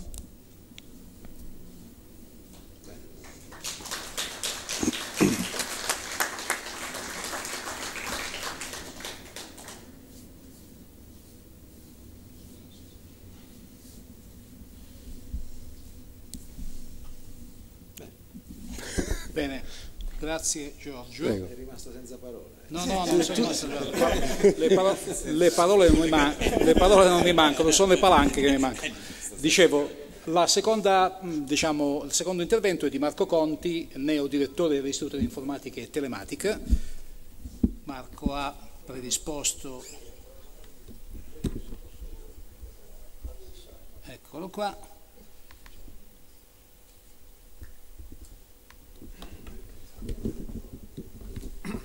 Prego Marco. Grazie Mimmo.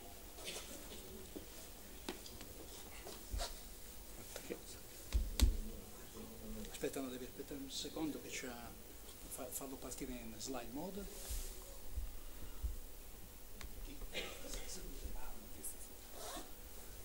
Grazie. Allora, grazie Mimmo. Eh, va bene, diciamo cosa c'è dietro l'angolo, eh, il tema, eh, io non potevo che affrontarlo dal punto di vista del networking eh, per vari motivi, insomma, eh, io ho iniziato a lavorare nell'87 al CNR, iniziando con il gruppo di Luciano Lenzini, esattamente un anno dopo l'introduzione di Internet in Italia, quindi diciamo, la mia carriera è partita con il networking e tuttora diciamo, la mia area principale di ricerca è quella del networking. Quindi cosa c'è dietro l'angolo? Allora, tanto sono partito da quello che veramente ci possiamo aspettare domattina e domattina è eh, un mondo eh, in cui internet sarà ovunque.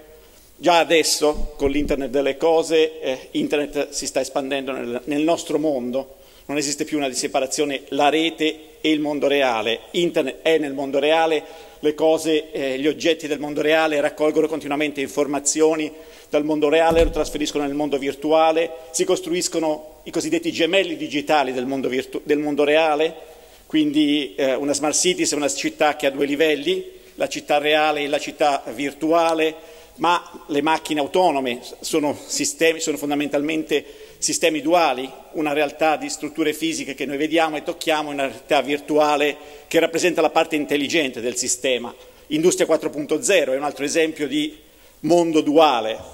Quindi diciamo, quello che abbiamo adesso è già evidente un internet che si sta espandendo nel mondo reale e sta occupando sempre di più il nostro mondo, ma quello che ci possiamo aspettare domattina, nel prossimo futuro, è che non solo eh, gli oggetti del mondo reale siano in internet, ma le persone siano parte di internet. Quindi stiamo muovendo quello che appunto viene mediaticamente chiamato long life, un mondo in cui le persone vivono contemporaneamente sia nel mondo reale che nel mondo virtuale e eh, diciamo anche noi abbiamo i nostri gemelli digitali, quindi i nostri dati, tutte le nostre azioni vengono raccolte nel mondo cyber e esiste una nostra copia digitale che è oggetto di, eh, che ha aspetti positivi e aspetti negativi. Chiaramente eh, lavorando diciamo, contemporaneamente nel mondo digitale, nel mondo virtuale, possiamo raccogliere più facilmente le informazioni che ci circondano. Quello che noi possiamo immaginare adesso è che viviamo in un cyberspace in cui la persona fisica si muove nel mondo reale, raccoglie informazioni parlando con le altre persone, ma la nostra dimensione virtuale interagisce con gli altri, interagisce con le altre persone e lo smartphone è la, ad esempio la porta di contatto tra i due mondi, i nostri dispositivi digitali. Quindi in realtà stiamo sempre di più entrando dentro la rete, la rete ci avvolgerà, sarà presente intorno a noi e diciamo, nostri, le nostre azioni, le nostre modalità di interazione e di comunicazione saranno duali avremo sempre interazione a livello fisico ma anche a livello virtuale e le online social network e le social network sono l'esempio che già tocchiamo, insomma le interazioni che noi abbiamo non avvengono più solamente nel livello fisico ma avvengono a livello virtuale con interazioni dei due mondi, per cui noi conosciamo persone a livello nel mondo fisico e trasferiamo questo in relazioni virtuali e viceversa. Costruiamo relazioni a livello virtuale e le trasferiamo nel mondo fisico. Quindi dobbiamo essere preparati a questo cambio di paradigma in cui, eh, che diciamo, ha molti benefici e molti rischi. Chiaramente le nostre dimensioni virtuali sono soggette a cyber attack, i fake, misinformation e altro che arrivano dal, dal cyber world finiscono per condizionare anche il nostro mondo reale. Quindi questo è sicuramente uno degli scenari già attuali. Quindi quello che ad esempio eh, Luciano Floridi chiama il mondo delle mangrovie, quindi una società che e eh, le mangrovie vivono eh, fra l'acqua dolce e l'acqua salata, quindi in un, in un, mix. E così sempre di più accadrà anche per noi, vivremo in un mix fra cyber e physical world. Quindi contemporaneamente le nostre, le nostre azioni, interazioni e tutto eh, saranno parte virtuali, parte reali, con i due mondi che continueranno a influenzarsi. Questo sicuramente è quello che già vediamo e che sta accadendo e qui dobbiamo essere anche preparati però a prendere contromisure proprio in termini di cyber security e altro di cui immagino che magari poi Rocco ci parlerà forse. L'altra dimensione che invece forse non è domattina ma fra qualche anno è qualcosa che è già stato citato ed è legato alle tecnologie quantistiche limitandomi eh, in questo solo all'aspetto del, delle comunicazioni, del, quello che viene chiamato quantum internet. Noi attualmente col quantum internet abbiamo da una parte appunto un mondo che è quello dell'internet, dall'altro abbiamo le tecnologie quantistiche che stanno emergendo, il qubit come nuovo alter, come sostituto del bit, come elemento per il trasferimento dell'informazione. E la domanda è eh, cosa questo comporterà, ad esempio, nel mondo appunto dell'internet. Le tecnologie quantistiche saranno uno strumento per cambiare alcune delle funzionalità del nostro internet o sarà un cambio totale di paradigma? Sicuramente possiamo pensare, e già lo stiamo facendo, di integrare strumenti che nascono dalle tecnologie quantistiche all'interno dell'internet attuale. Un esempio, quello già che è in fase di sperimentazione, è quello della cosiddetta quantum key distribution. Si parla di eh, crittografia post-quantum, cioè è noto che eh, con l'introduzione dei calcolatori quantistici alcuni dei problemi computazionali ritenuti hard e quindi di, non, di complessità tale da non poter essere risolti in tempi ragionevoli, non lo saranno più e quindi questi problemi potranno rendere l'attuale crittografia non più sicura con i livelli di eh, sicurezza eh, necessari. Per tutto questo è possibile risolverli usando la crittografia quantistica che si basa appunto sullo sfruttamento delle, delle proprietà della meccanica quantistica per sviluppare algoritmi crittografici, di distribuzioni di chiavi crittografiche intrinsecamente sicure. E eh, diciamo, già come CNR, insieme ad altre istituzioni nazionali, abbiamo proposto dei progetti di integrazione della crittografia quantistica all'interno dell'Internet tradizionale. Questo è un primo passo, ma quello che ci possiamo domandare è se questo è, eh, è il solo passo, anzi eh, probabilmente no. E quello che sta, il secondo passo è invece è costruire un internet totalmente quantistico, cioè in cui l'elemento di trasferimento dell'informazione non è il bit ma il qubit. E questo apre però enormi problemi perché per, per tutte le proprietà appunto, della meccanica quantistica un qubit non si può leggere, non si può copiare e ritrasferire da un router all'altro, ma bisogna sfruttare proprietà quali l'entanglement e il teleportation eventualmente per eh, riuscire a trasferire l'informazione quantistica. E questa diciamo, è la seconda dimensione che è, è attualmente aperta. Eh, concludo dicendo che non, appunto, le, sicuramente le tecnologie quantistiche avranno un impatto, non è chiaro se, eh, per quanto riguarda ad esempio l'aspetto di internet e delle comunicazioni, si potrà, eh, il, il, quantum internet sarà un, una sostituzione totale della, di internet attuale, dell'internet classico, oppure se i due mondi convi, eh, saranno insieme, cioè avremo una parte quantistica relativa ad esempio al trasferimento di informazione quantistica tra calcolatori quantistici per sviluppare dei sistemi distribuiti di quantum computing e dall'altra parte continuerà a coesistere l'internet tradizionale eventualmente arricchito con, le, con funzionalità quanto il quantum key distribution oppure ci sarà un rimpiazzo totale. Questo è un, grosso punto interrogativo. Grazie. Grazie Eh, buonasera professor Capris, è stato veramente interessante sentire, sentire la sua presentazione, appunto ci, siamo incrociati un po' di volte ma eh, è stato veramente bello poi ricostruire un po' di, mm, eh, di storia. Io appunto non lavoro a Pisa da, da tanto tempo, diciamo, ho lavorato al CNR soltanto dal, dall'82 al, al, 90, poi ho girato, girato l'Italia, infatti scherzando qui quando dico cosa c'è dietro l'angolo c'è Lucca, no? perché nel senso che io in questo momento sono, sono a Lucca, quindi eh, all'IMT e appunto è lì e, e, da lì e poi abbiamo messo in piedi insieme con i pisani ma insieme anche con i toscani che sembra una cosa un po' bella, riuscire a fare squadra come un po' il professore chiudeva stasera, quindi andiamo anche oltre le mura di Pisa, andiamo oltre e per cercare di fare delle, delle cose assieme. Diciamo. No, quindi questo vi dirò poi dopo cosa vuol dire questo CQBOT, diciamo, che è un frutto un po' di questa collaborazione più ampia, è uno dei motivi per cui Mimmo, che ringrazio per l'invito, mi, mi ha, coinvolto in questa cosa. Allora,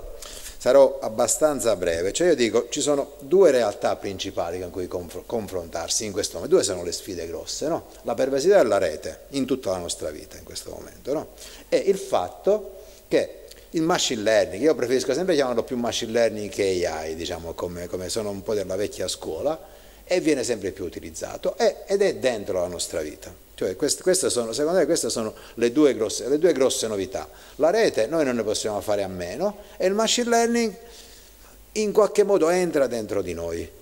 quindi con, con la nostra macchina, con, controllando i semafori, controlla, controllando tante, tante cose. Diciamo. E questo che fa? Questo di fatti porta rischi per la sicurezza fisica, no? pensando appunto a quando uno, cioè per dire il machine learning, poi uno pensa adversari al machine learning, no? per esempio uno basta che cambia 4 pixel, no? e un segnale stradale che era uno stop diventa invece un, un segnale stradale di dare la precedenza, ma basta veramente poco diciamo, per, fare, per, fare, per, fare, queste cose qui. No? qui perché, perché, poi non si sa nemmeno da cosa hanno imparato in qualche modo le cose, come hanno imparato a distinguere un segnale, un segnale da un altro, quindi questo mette a rischio per davvero la cosa, quando noi cominciamo a basare alcune scelte nostre su quello. L'altra cosa è il discorso di rischi per la sicurezza economica, cioè eh, sappiamo di attacchi che nella rete ci possono essere, spostare grossi capitali, creare, e quindi anche que questo è un, un altro elemento no? Che, eh, con cui dobbiamo stare attenti e anche il discorso per la sicurezza sociale.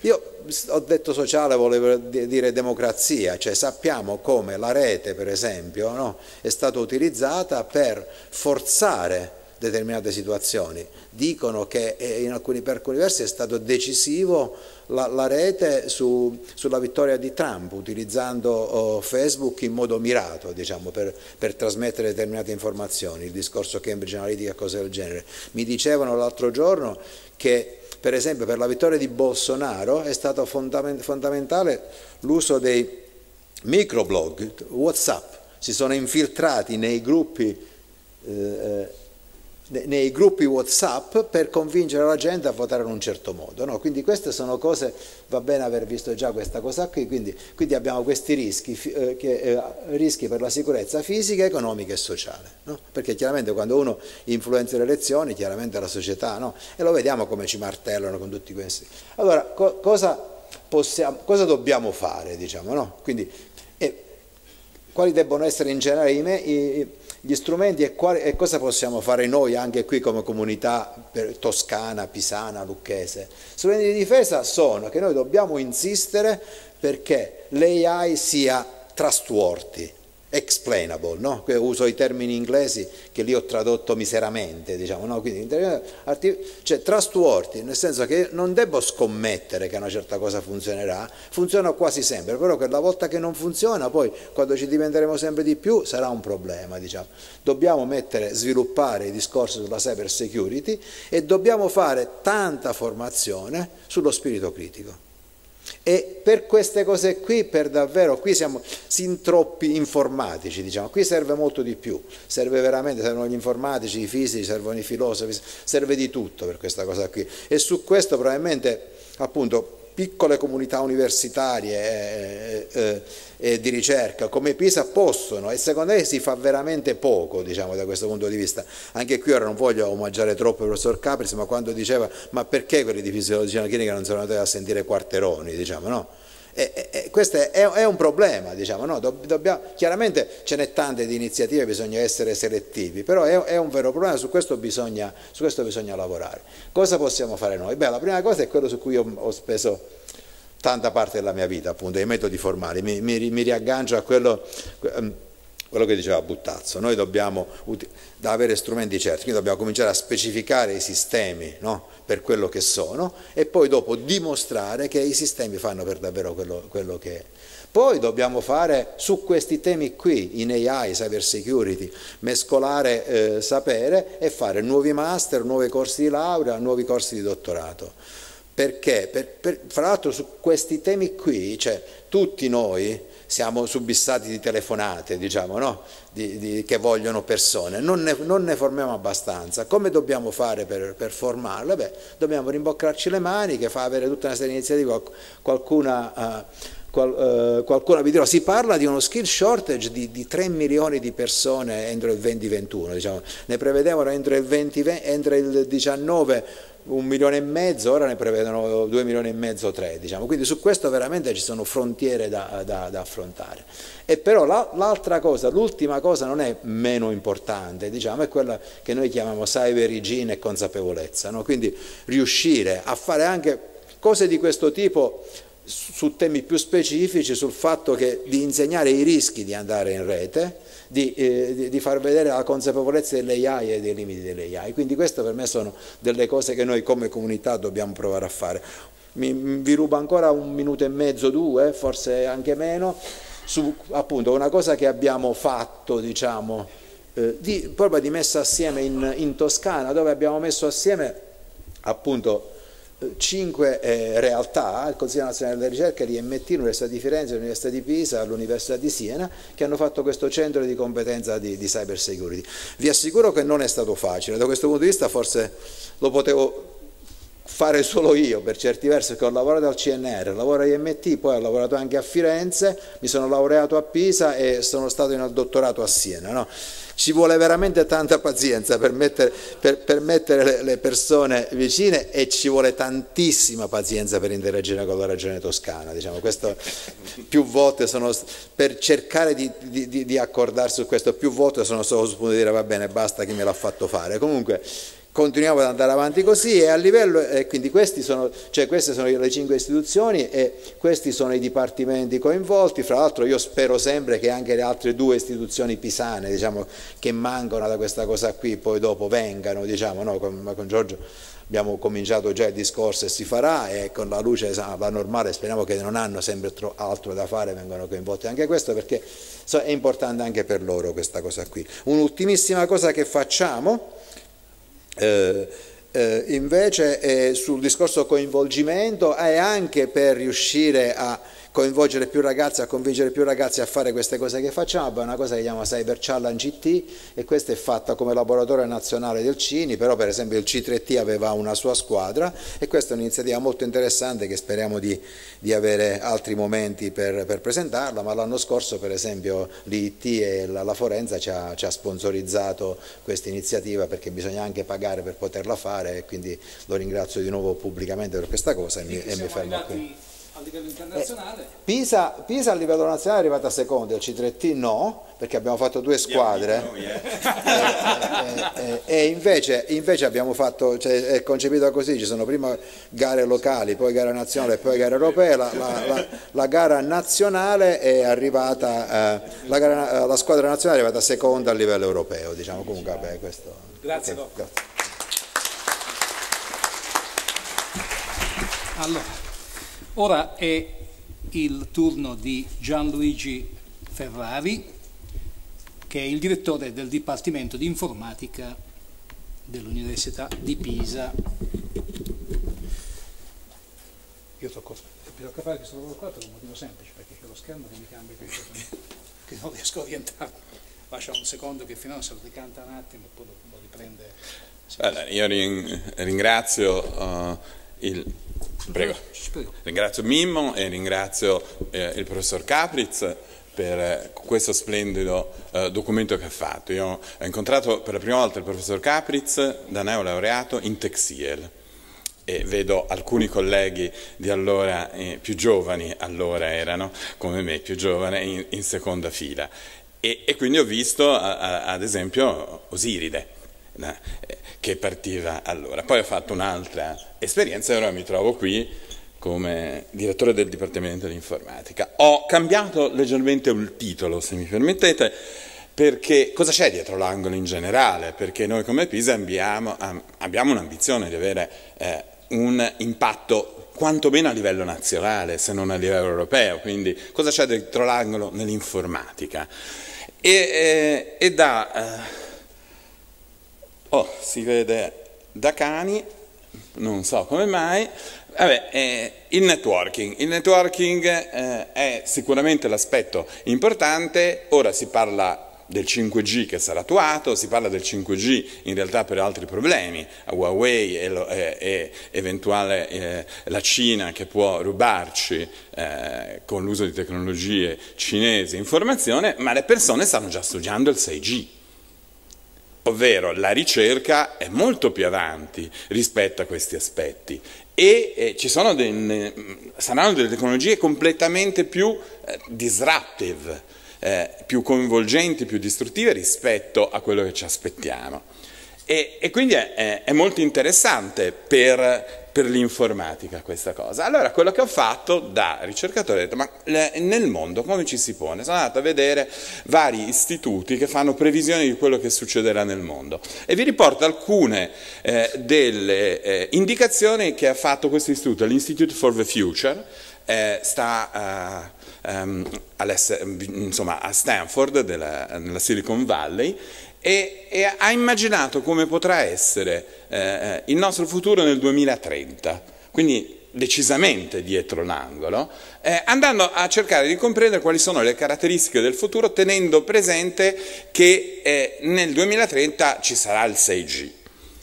Allora, la prima cosa è eh, eh, network reality, cioè andremo in, in, in un mondo dove non solo avremo il nostro digital twins, ma il nostro digital twins, il nostro gemello digitale, collaborerà con noi con dei meccanismi di realtà aumentata. Immaginate nelle professioni.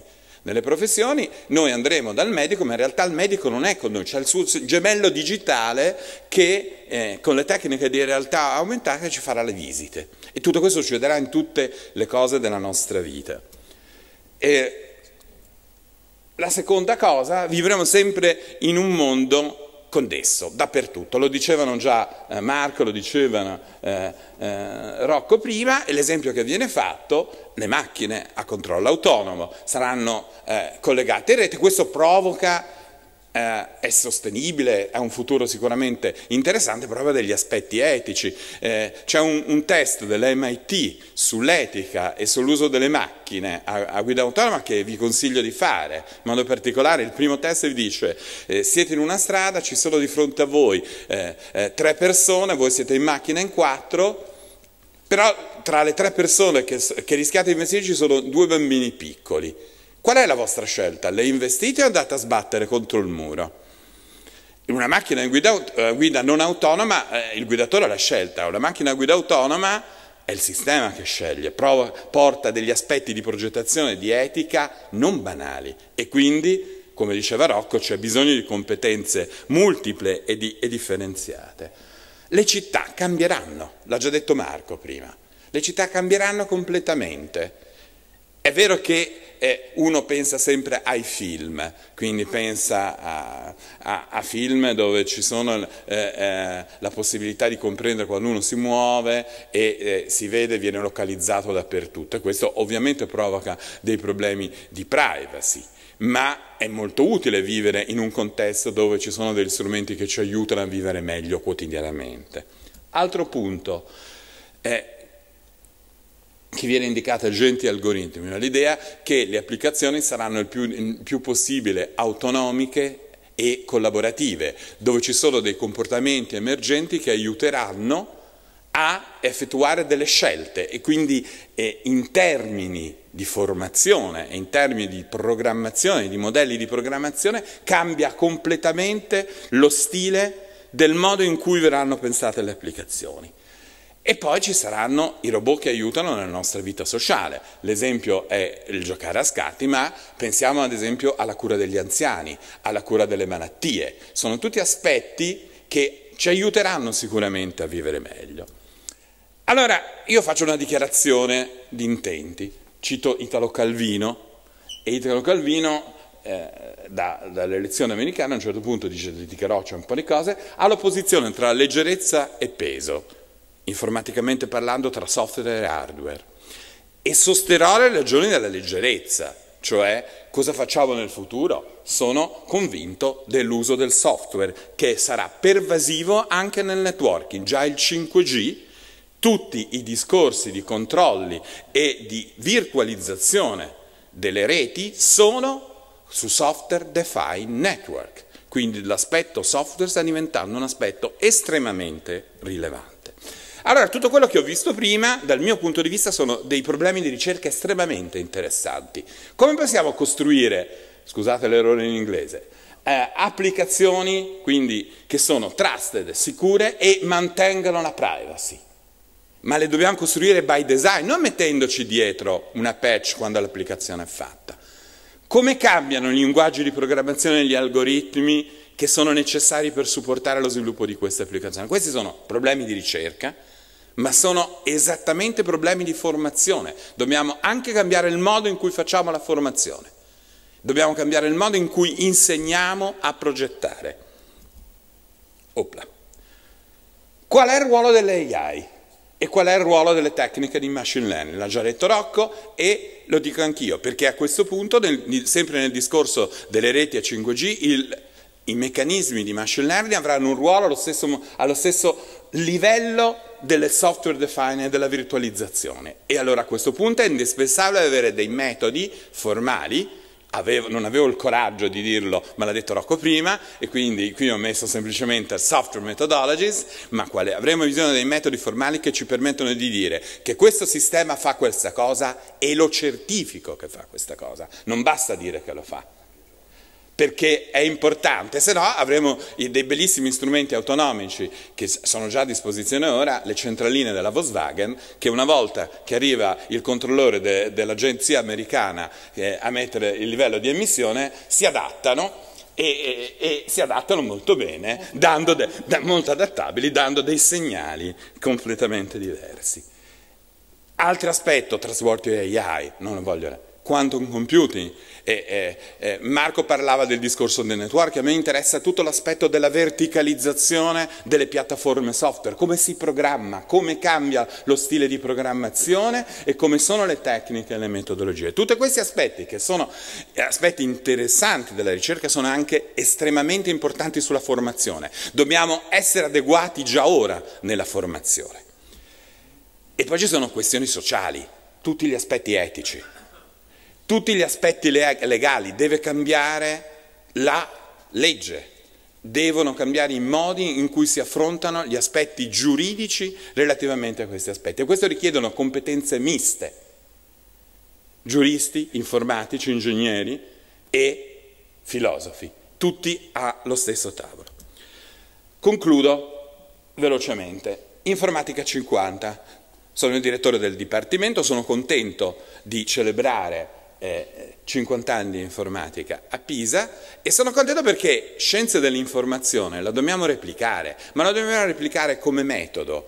Cioè quello che sta succedendo ora a questo tavolo lo dobbiamo far rendere uno strumento di ricerca quotidiana, dobbiamo rompere le barriere che ci sono tra le nostre istituzioni, sia per la ricerca che la formazione. Ho già parlato con Marco e con Roberto, con la possibilità di fare un accordo quadro tra noi come Dipartimento e loro come istituti per fare in modo che ci sia una sinergia completa sulla formazione, una sinergia completa su come vengono eh, erogati i corsi di studio e la didattica innovativa. E ho colto, appena l'ho detto entrambi, hanno detto sì, lo facciamo subito, quindi dobbiamo rompere le barriere, lo stile del CTRT è questo, lo dobbiamo fare anche con le scuole di eccellenza, Sant'Anna e Normale e con i colleghi eh, amici e nemici di ingegneria dell'informazione che però con noi quest'anno hanno vinto il Cyber Challenge assieme.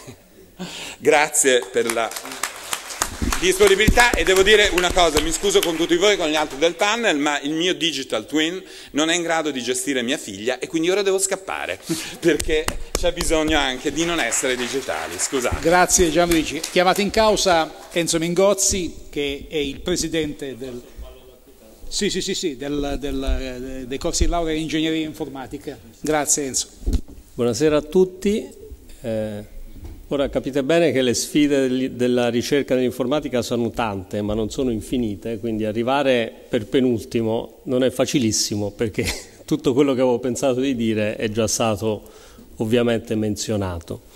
E allora diciamo, eh, vorrei citare alcune delle cose che sono già state dette, eh, provando diciamo, a fare delle osservazioni che sono in prospettiva eh, diciamo così, storica, eh, pensando a quello che abbiamo visto nel film. La prima delle cose che volevo menzionare è l'internet delle cose, appunto, l'internet of things.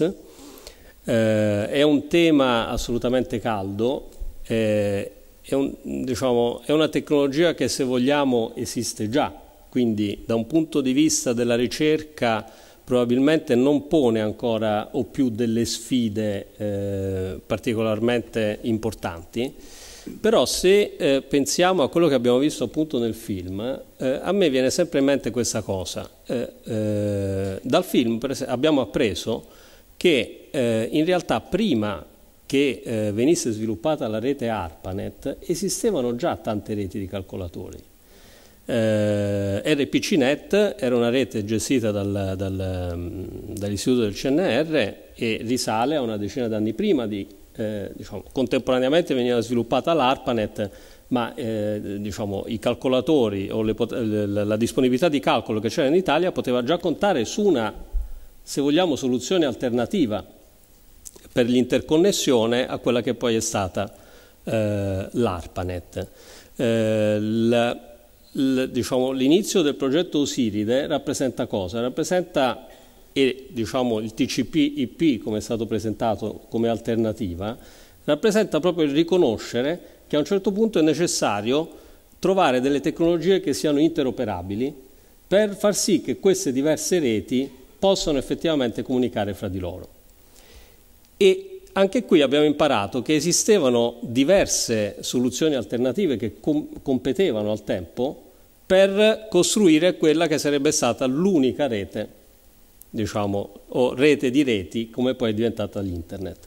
Quello che è successo, ce lo dice la storia, è che il TCP/IP ha vinto questa competizione e ha sbaragliato diciamo, tutti gli altri competitor e questo ha fatto sì che venisse creata un'unica infrastruttura di, di interconnessione di tutti i calcolatori che è stato secondo me un aspetto fondamentale per poi far partire diciamo, que quelle successive evoluzioni, come per esempio il web, senza le quali secondo me non, eh, il web stesso diciamo, non sarebbe nato. Allora cosa c'entra l'internet delle cose? È vero che nel, nell'ambito dell'internet delle cose esistono già tante tecnologie, non solo, ma anche tanti prodotti, ma a me pare che siamo ancora in quella situazione in cui eh, diciamo, in quel limbo in cui esistono anche tanti standard, ma nessuno riesce a prevalere e questo eh, probabilmente fa sì che eh, nel, nel, diciamo, sia ancora una sfida a cui pensare il fatto che possano, diciamo, eh, possa uno di questi standard vincere sugli altri e far diventare anche questo internet delle cose un'unica infrastruttura. Ci sono tanti esempi che faccio agli studenti quando spiego diciamo, queste tecnologie. Eh, esistono appunto tanti prodotti, ma spesso questi prodotti non si parlano fra di loro. Ci sono tanti ambiti in cui uno eh, può applicare l'internet delle cose, uno è quello domestico per esempio, ci sono, andate all'IKEA, comprate un sistema di illuminazione intelligente, andate su Amazon e comprate un termostato intelligente. Tutti questi sistemi fra di loro non si parlano, pur di fatto contando su un insieme di, su una infrastruttura di sensori che è la stessa, perché rilevare la presenza di una persona in una stanza, che lo faccia il sistema di allarme o che lo faccia il sistema di illuminazione automatico, richiede sostanzialmente le stesse tecnologie. Adesso qualcosa diciamo, si riesce a, a integrare attraverso gli assistenti digitali, Alexa, Google Assistant, eccetera. Però se andate a comprare un prodotto di questi, eh, sulla scatola trovate l'elenco di tutti gli assistenti con cui quel prodotto è compatibile. Una, questa prospettiva è completamente diversa da quella che è stata la Internet. Quindi su questo, secondo me, eh, sarà probabilmente diciamo, un aspetto di ricerca molto, molto applicata, ma c'è ancora diciamo, qualcosa, qualcosa da dire. Eh, e questo ovviamente era un tema che era stato menzionato. Un altro che vorrei eh, menzionare, anche qui vorrei fare un parallelo con quello che abbiamo visto, proprio la diffusione dell'Internet delle cose sta secondo me portando su un livello diciamo, ulteriore di complessità la capacità di gestire grandi quantità di dati. Quindi l'aspetto dei big data, anche questo è sulla ribalta da diverso tempo, ma mi pare che eh, diciamo, la, diffusione di sistemi IoT in ambiti i più diversi stia cambiando diciamo, il livello di sfida proprio nella gestione di questi dati, prima ancora della loro analisi, dove memorizzarli. E anche qui, se volete, si può un, un, diciamo, individuare un percorso che è di questo tipo. Abbiamo visto diciamo, nel, nel film raccontare come a un certo punto per tutta Pisa viene diciamo, diciamo, la cosa importante, diciamo, quello che si riesce a realizzare, che è un successo, è avere un unico calcolatore, perché i sistemi erano centralizzati, cioè era l'unico elemento che fornisse potenza di calcolo a tutti i vari utenti. L'introduzione delle reti è che cosa? È un, uno spostarsi dal paradigma centralizzato a un paradigma distribuito, cioè ci si rende conto che avendo un'infrastruttura che interconnette questi calcolatori, si riesce a realizzare un qualcosa che è molto più efficiente, molto più scalabile, mette a fattore comune risorse e quindi funziona molto meglio. Poi cos'è successo? Con il cloud, con lo sviluppo diciamo, dei data center, di fatto il paradigma è di nuovo tornato a una situazione sostanzialmente centralizzata per quanto sia coinvolta la rete, per quanto bisogna usare la rete per arrivare nel cloud, ma poi alla fine c'è questa infrastruttura che chiamiamo cloud perché non riusciamo neanche diciamo, a visualizzare concretamente, che ha risorse infinite, risorse di calcolo infinito, risorse di memoria infinite, quindi qualunque sia il nostro problema, basta portarlo nel cloud e diventa tutto di nuovo centralizzato. Ora, diciamo, a me pare che di nuovo, eh, e questo eh, diciamo, in realtà è, è, di nuovo tecnologia già esistente, ma appunto con la quantità di dati che genera l'IoT probabilmente non ancora matura, si stia tornando, si sia tornati verso di nuovo diciamo, una prospettiva distribuita. Perché?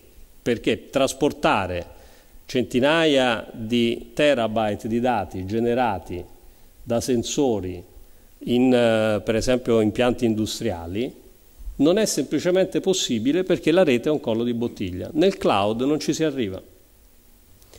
Eh, un esempio che faccio agli studenti diciamo, che riguarda questa cosa, che mi è capitato di toccare con mano quando per diciamo, altri aspetti eh, ho viaggiato su un treno delle ferrovie dello Stato che è un treno sperimentale che viaggia di notte e eh, è completamente strumentato per cui raccoglie tutti i dati sulle linee su cui, su cui viaggia.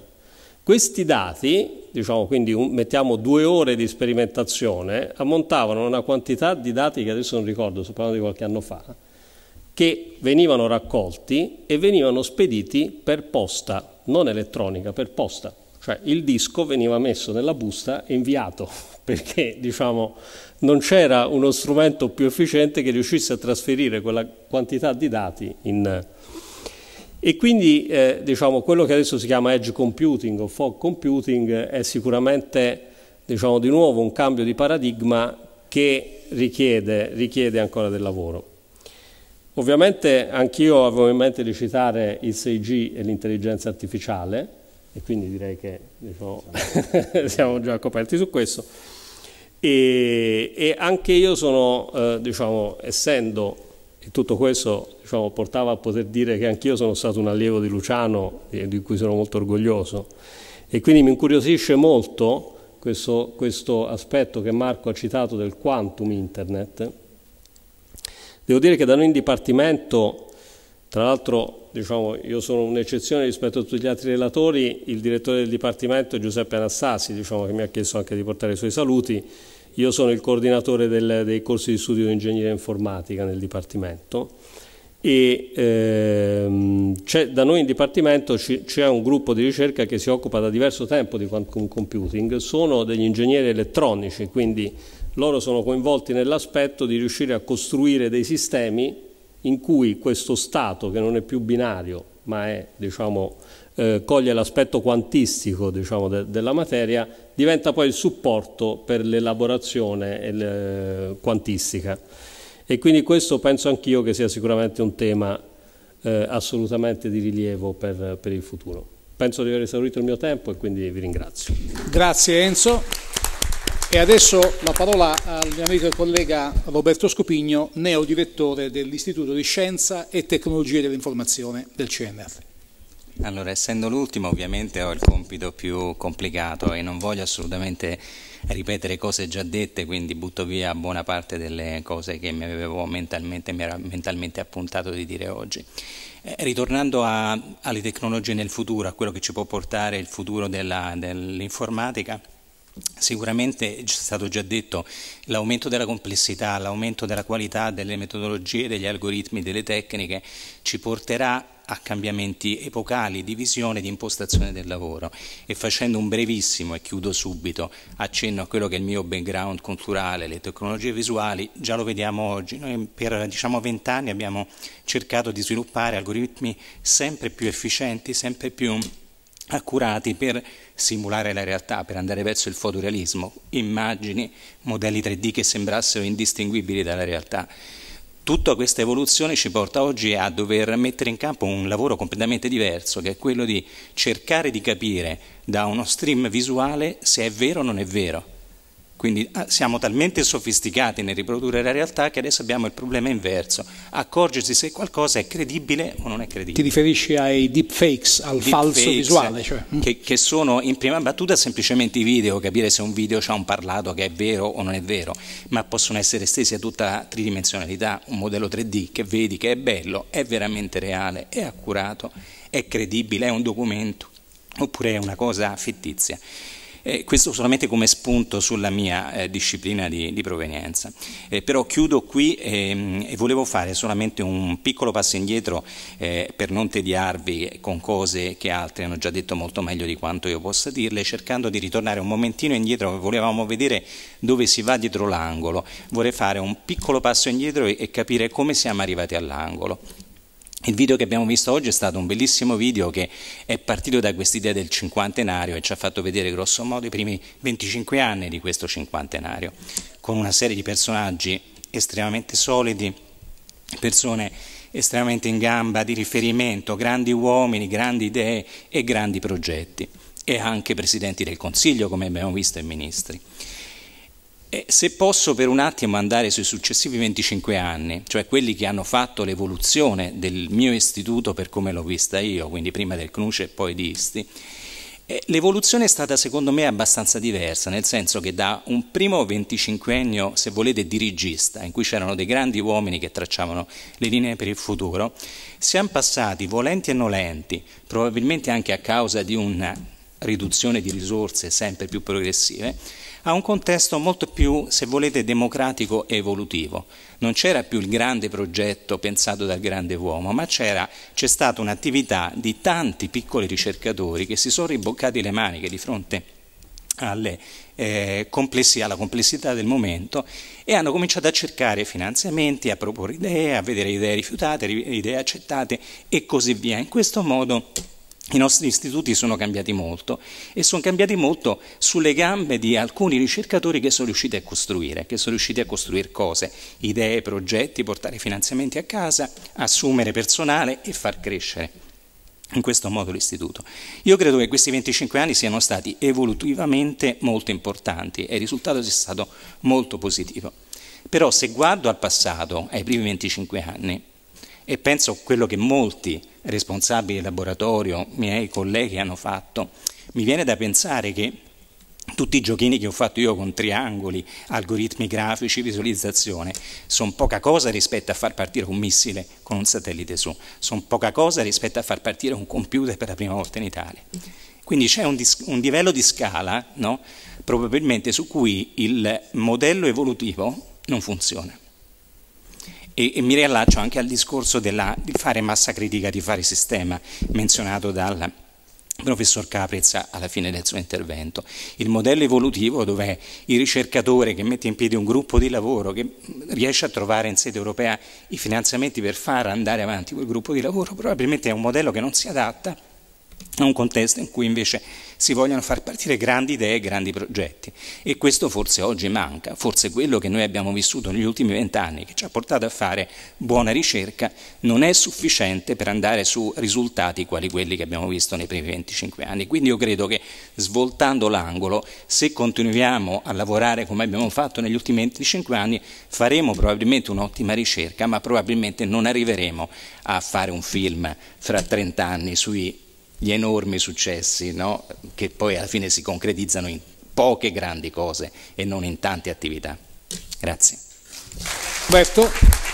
Sono le sette, sono le sette, quindi mi corre l'obbligo, de, prima di tutto devo ringraziare, Ci, si potrebbe parlare tantissime cose a lungo, ma vedo anche i visi stanchi di tutti, poi è Halloween, insomma ci sono tutta una serie di questioni con i figli, i nipoti, collaterali. Quindi io ringrazio tutte le, le amiche e gli amici che ci hanno degnato della loro presenza, ritengo che sia stato molto utile e buon fine settimana. Grazie.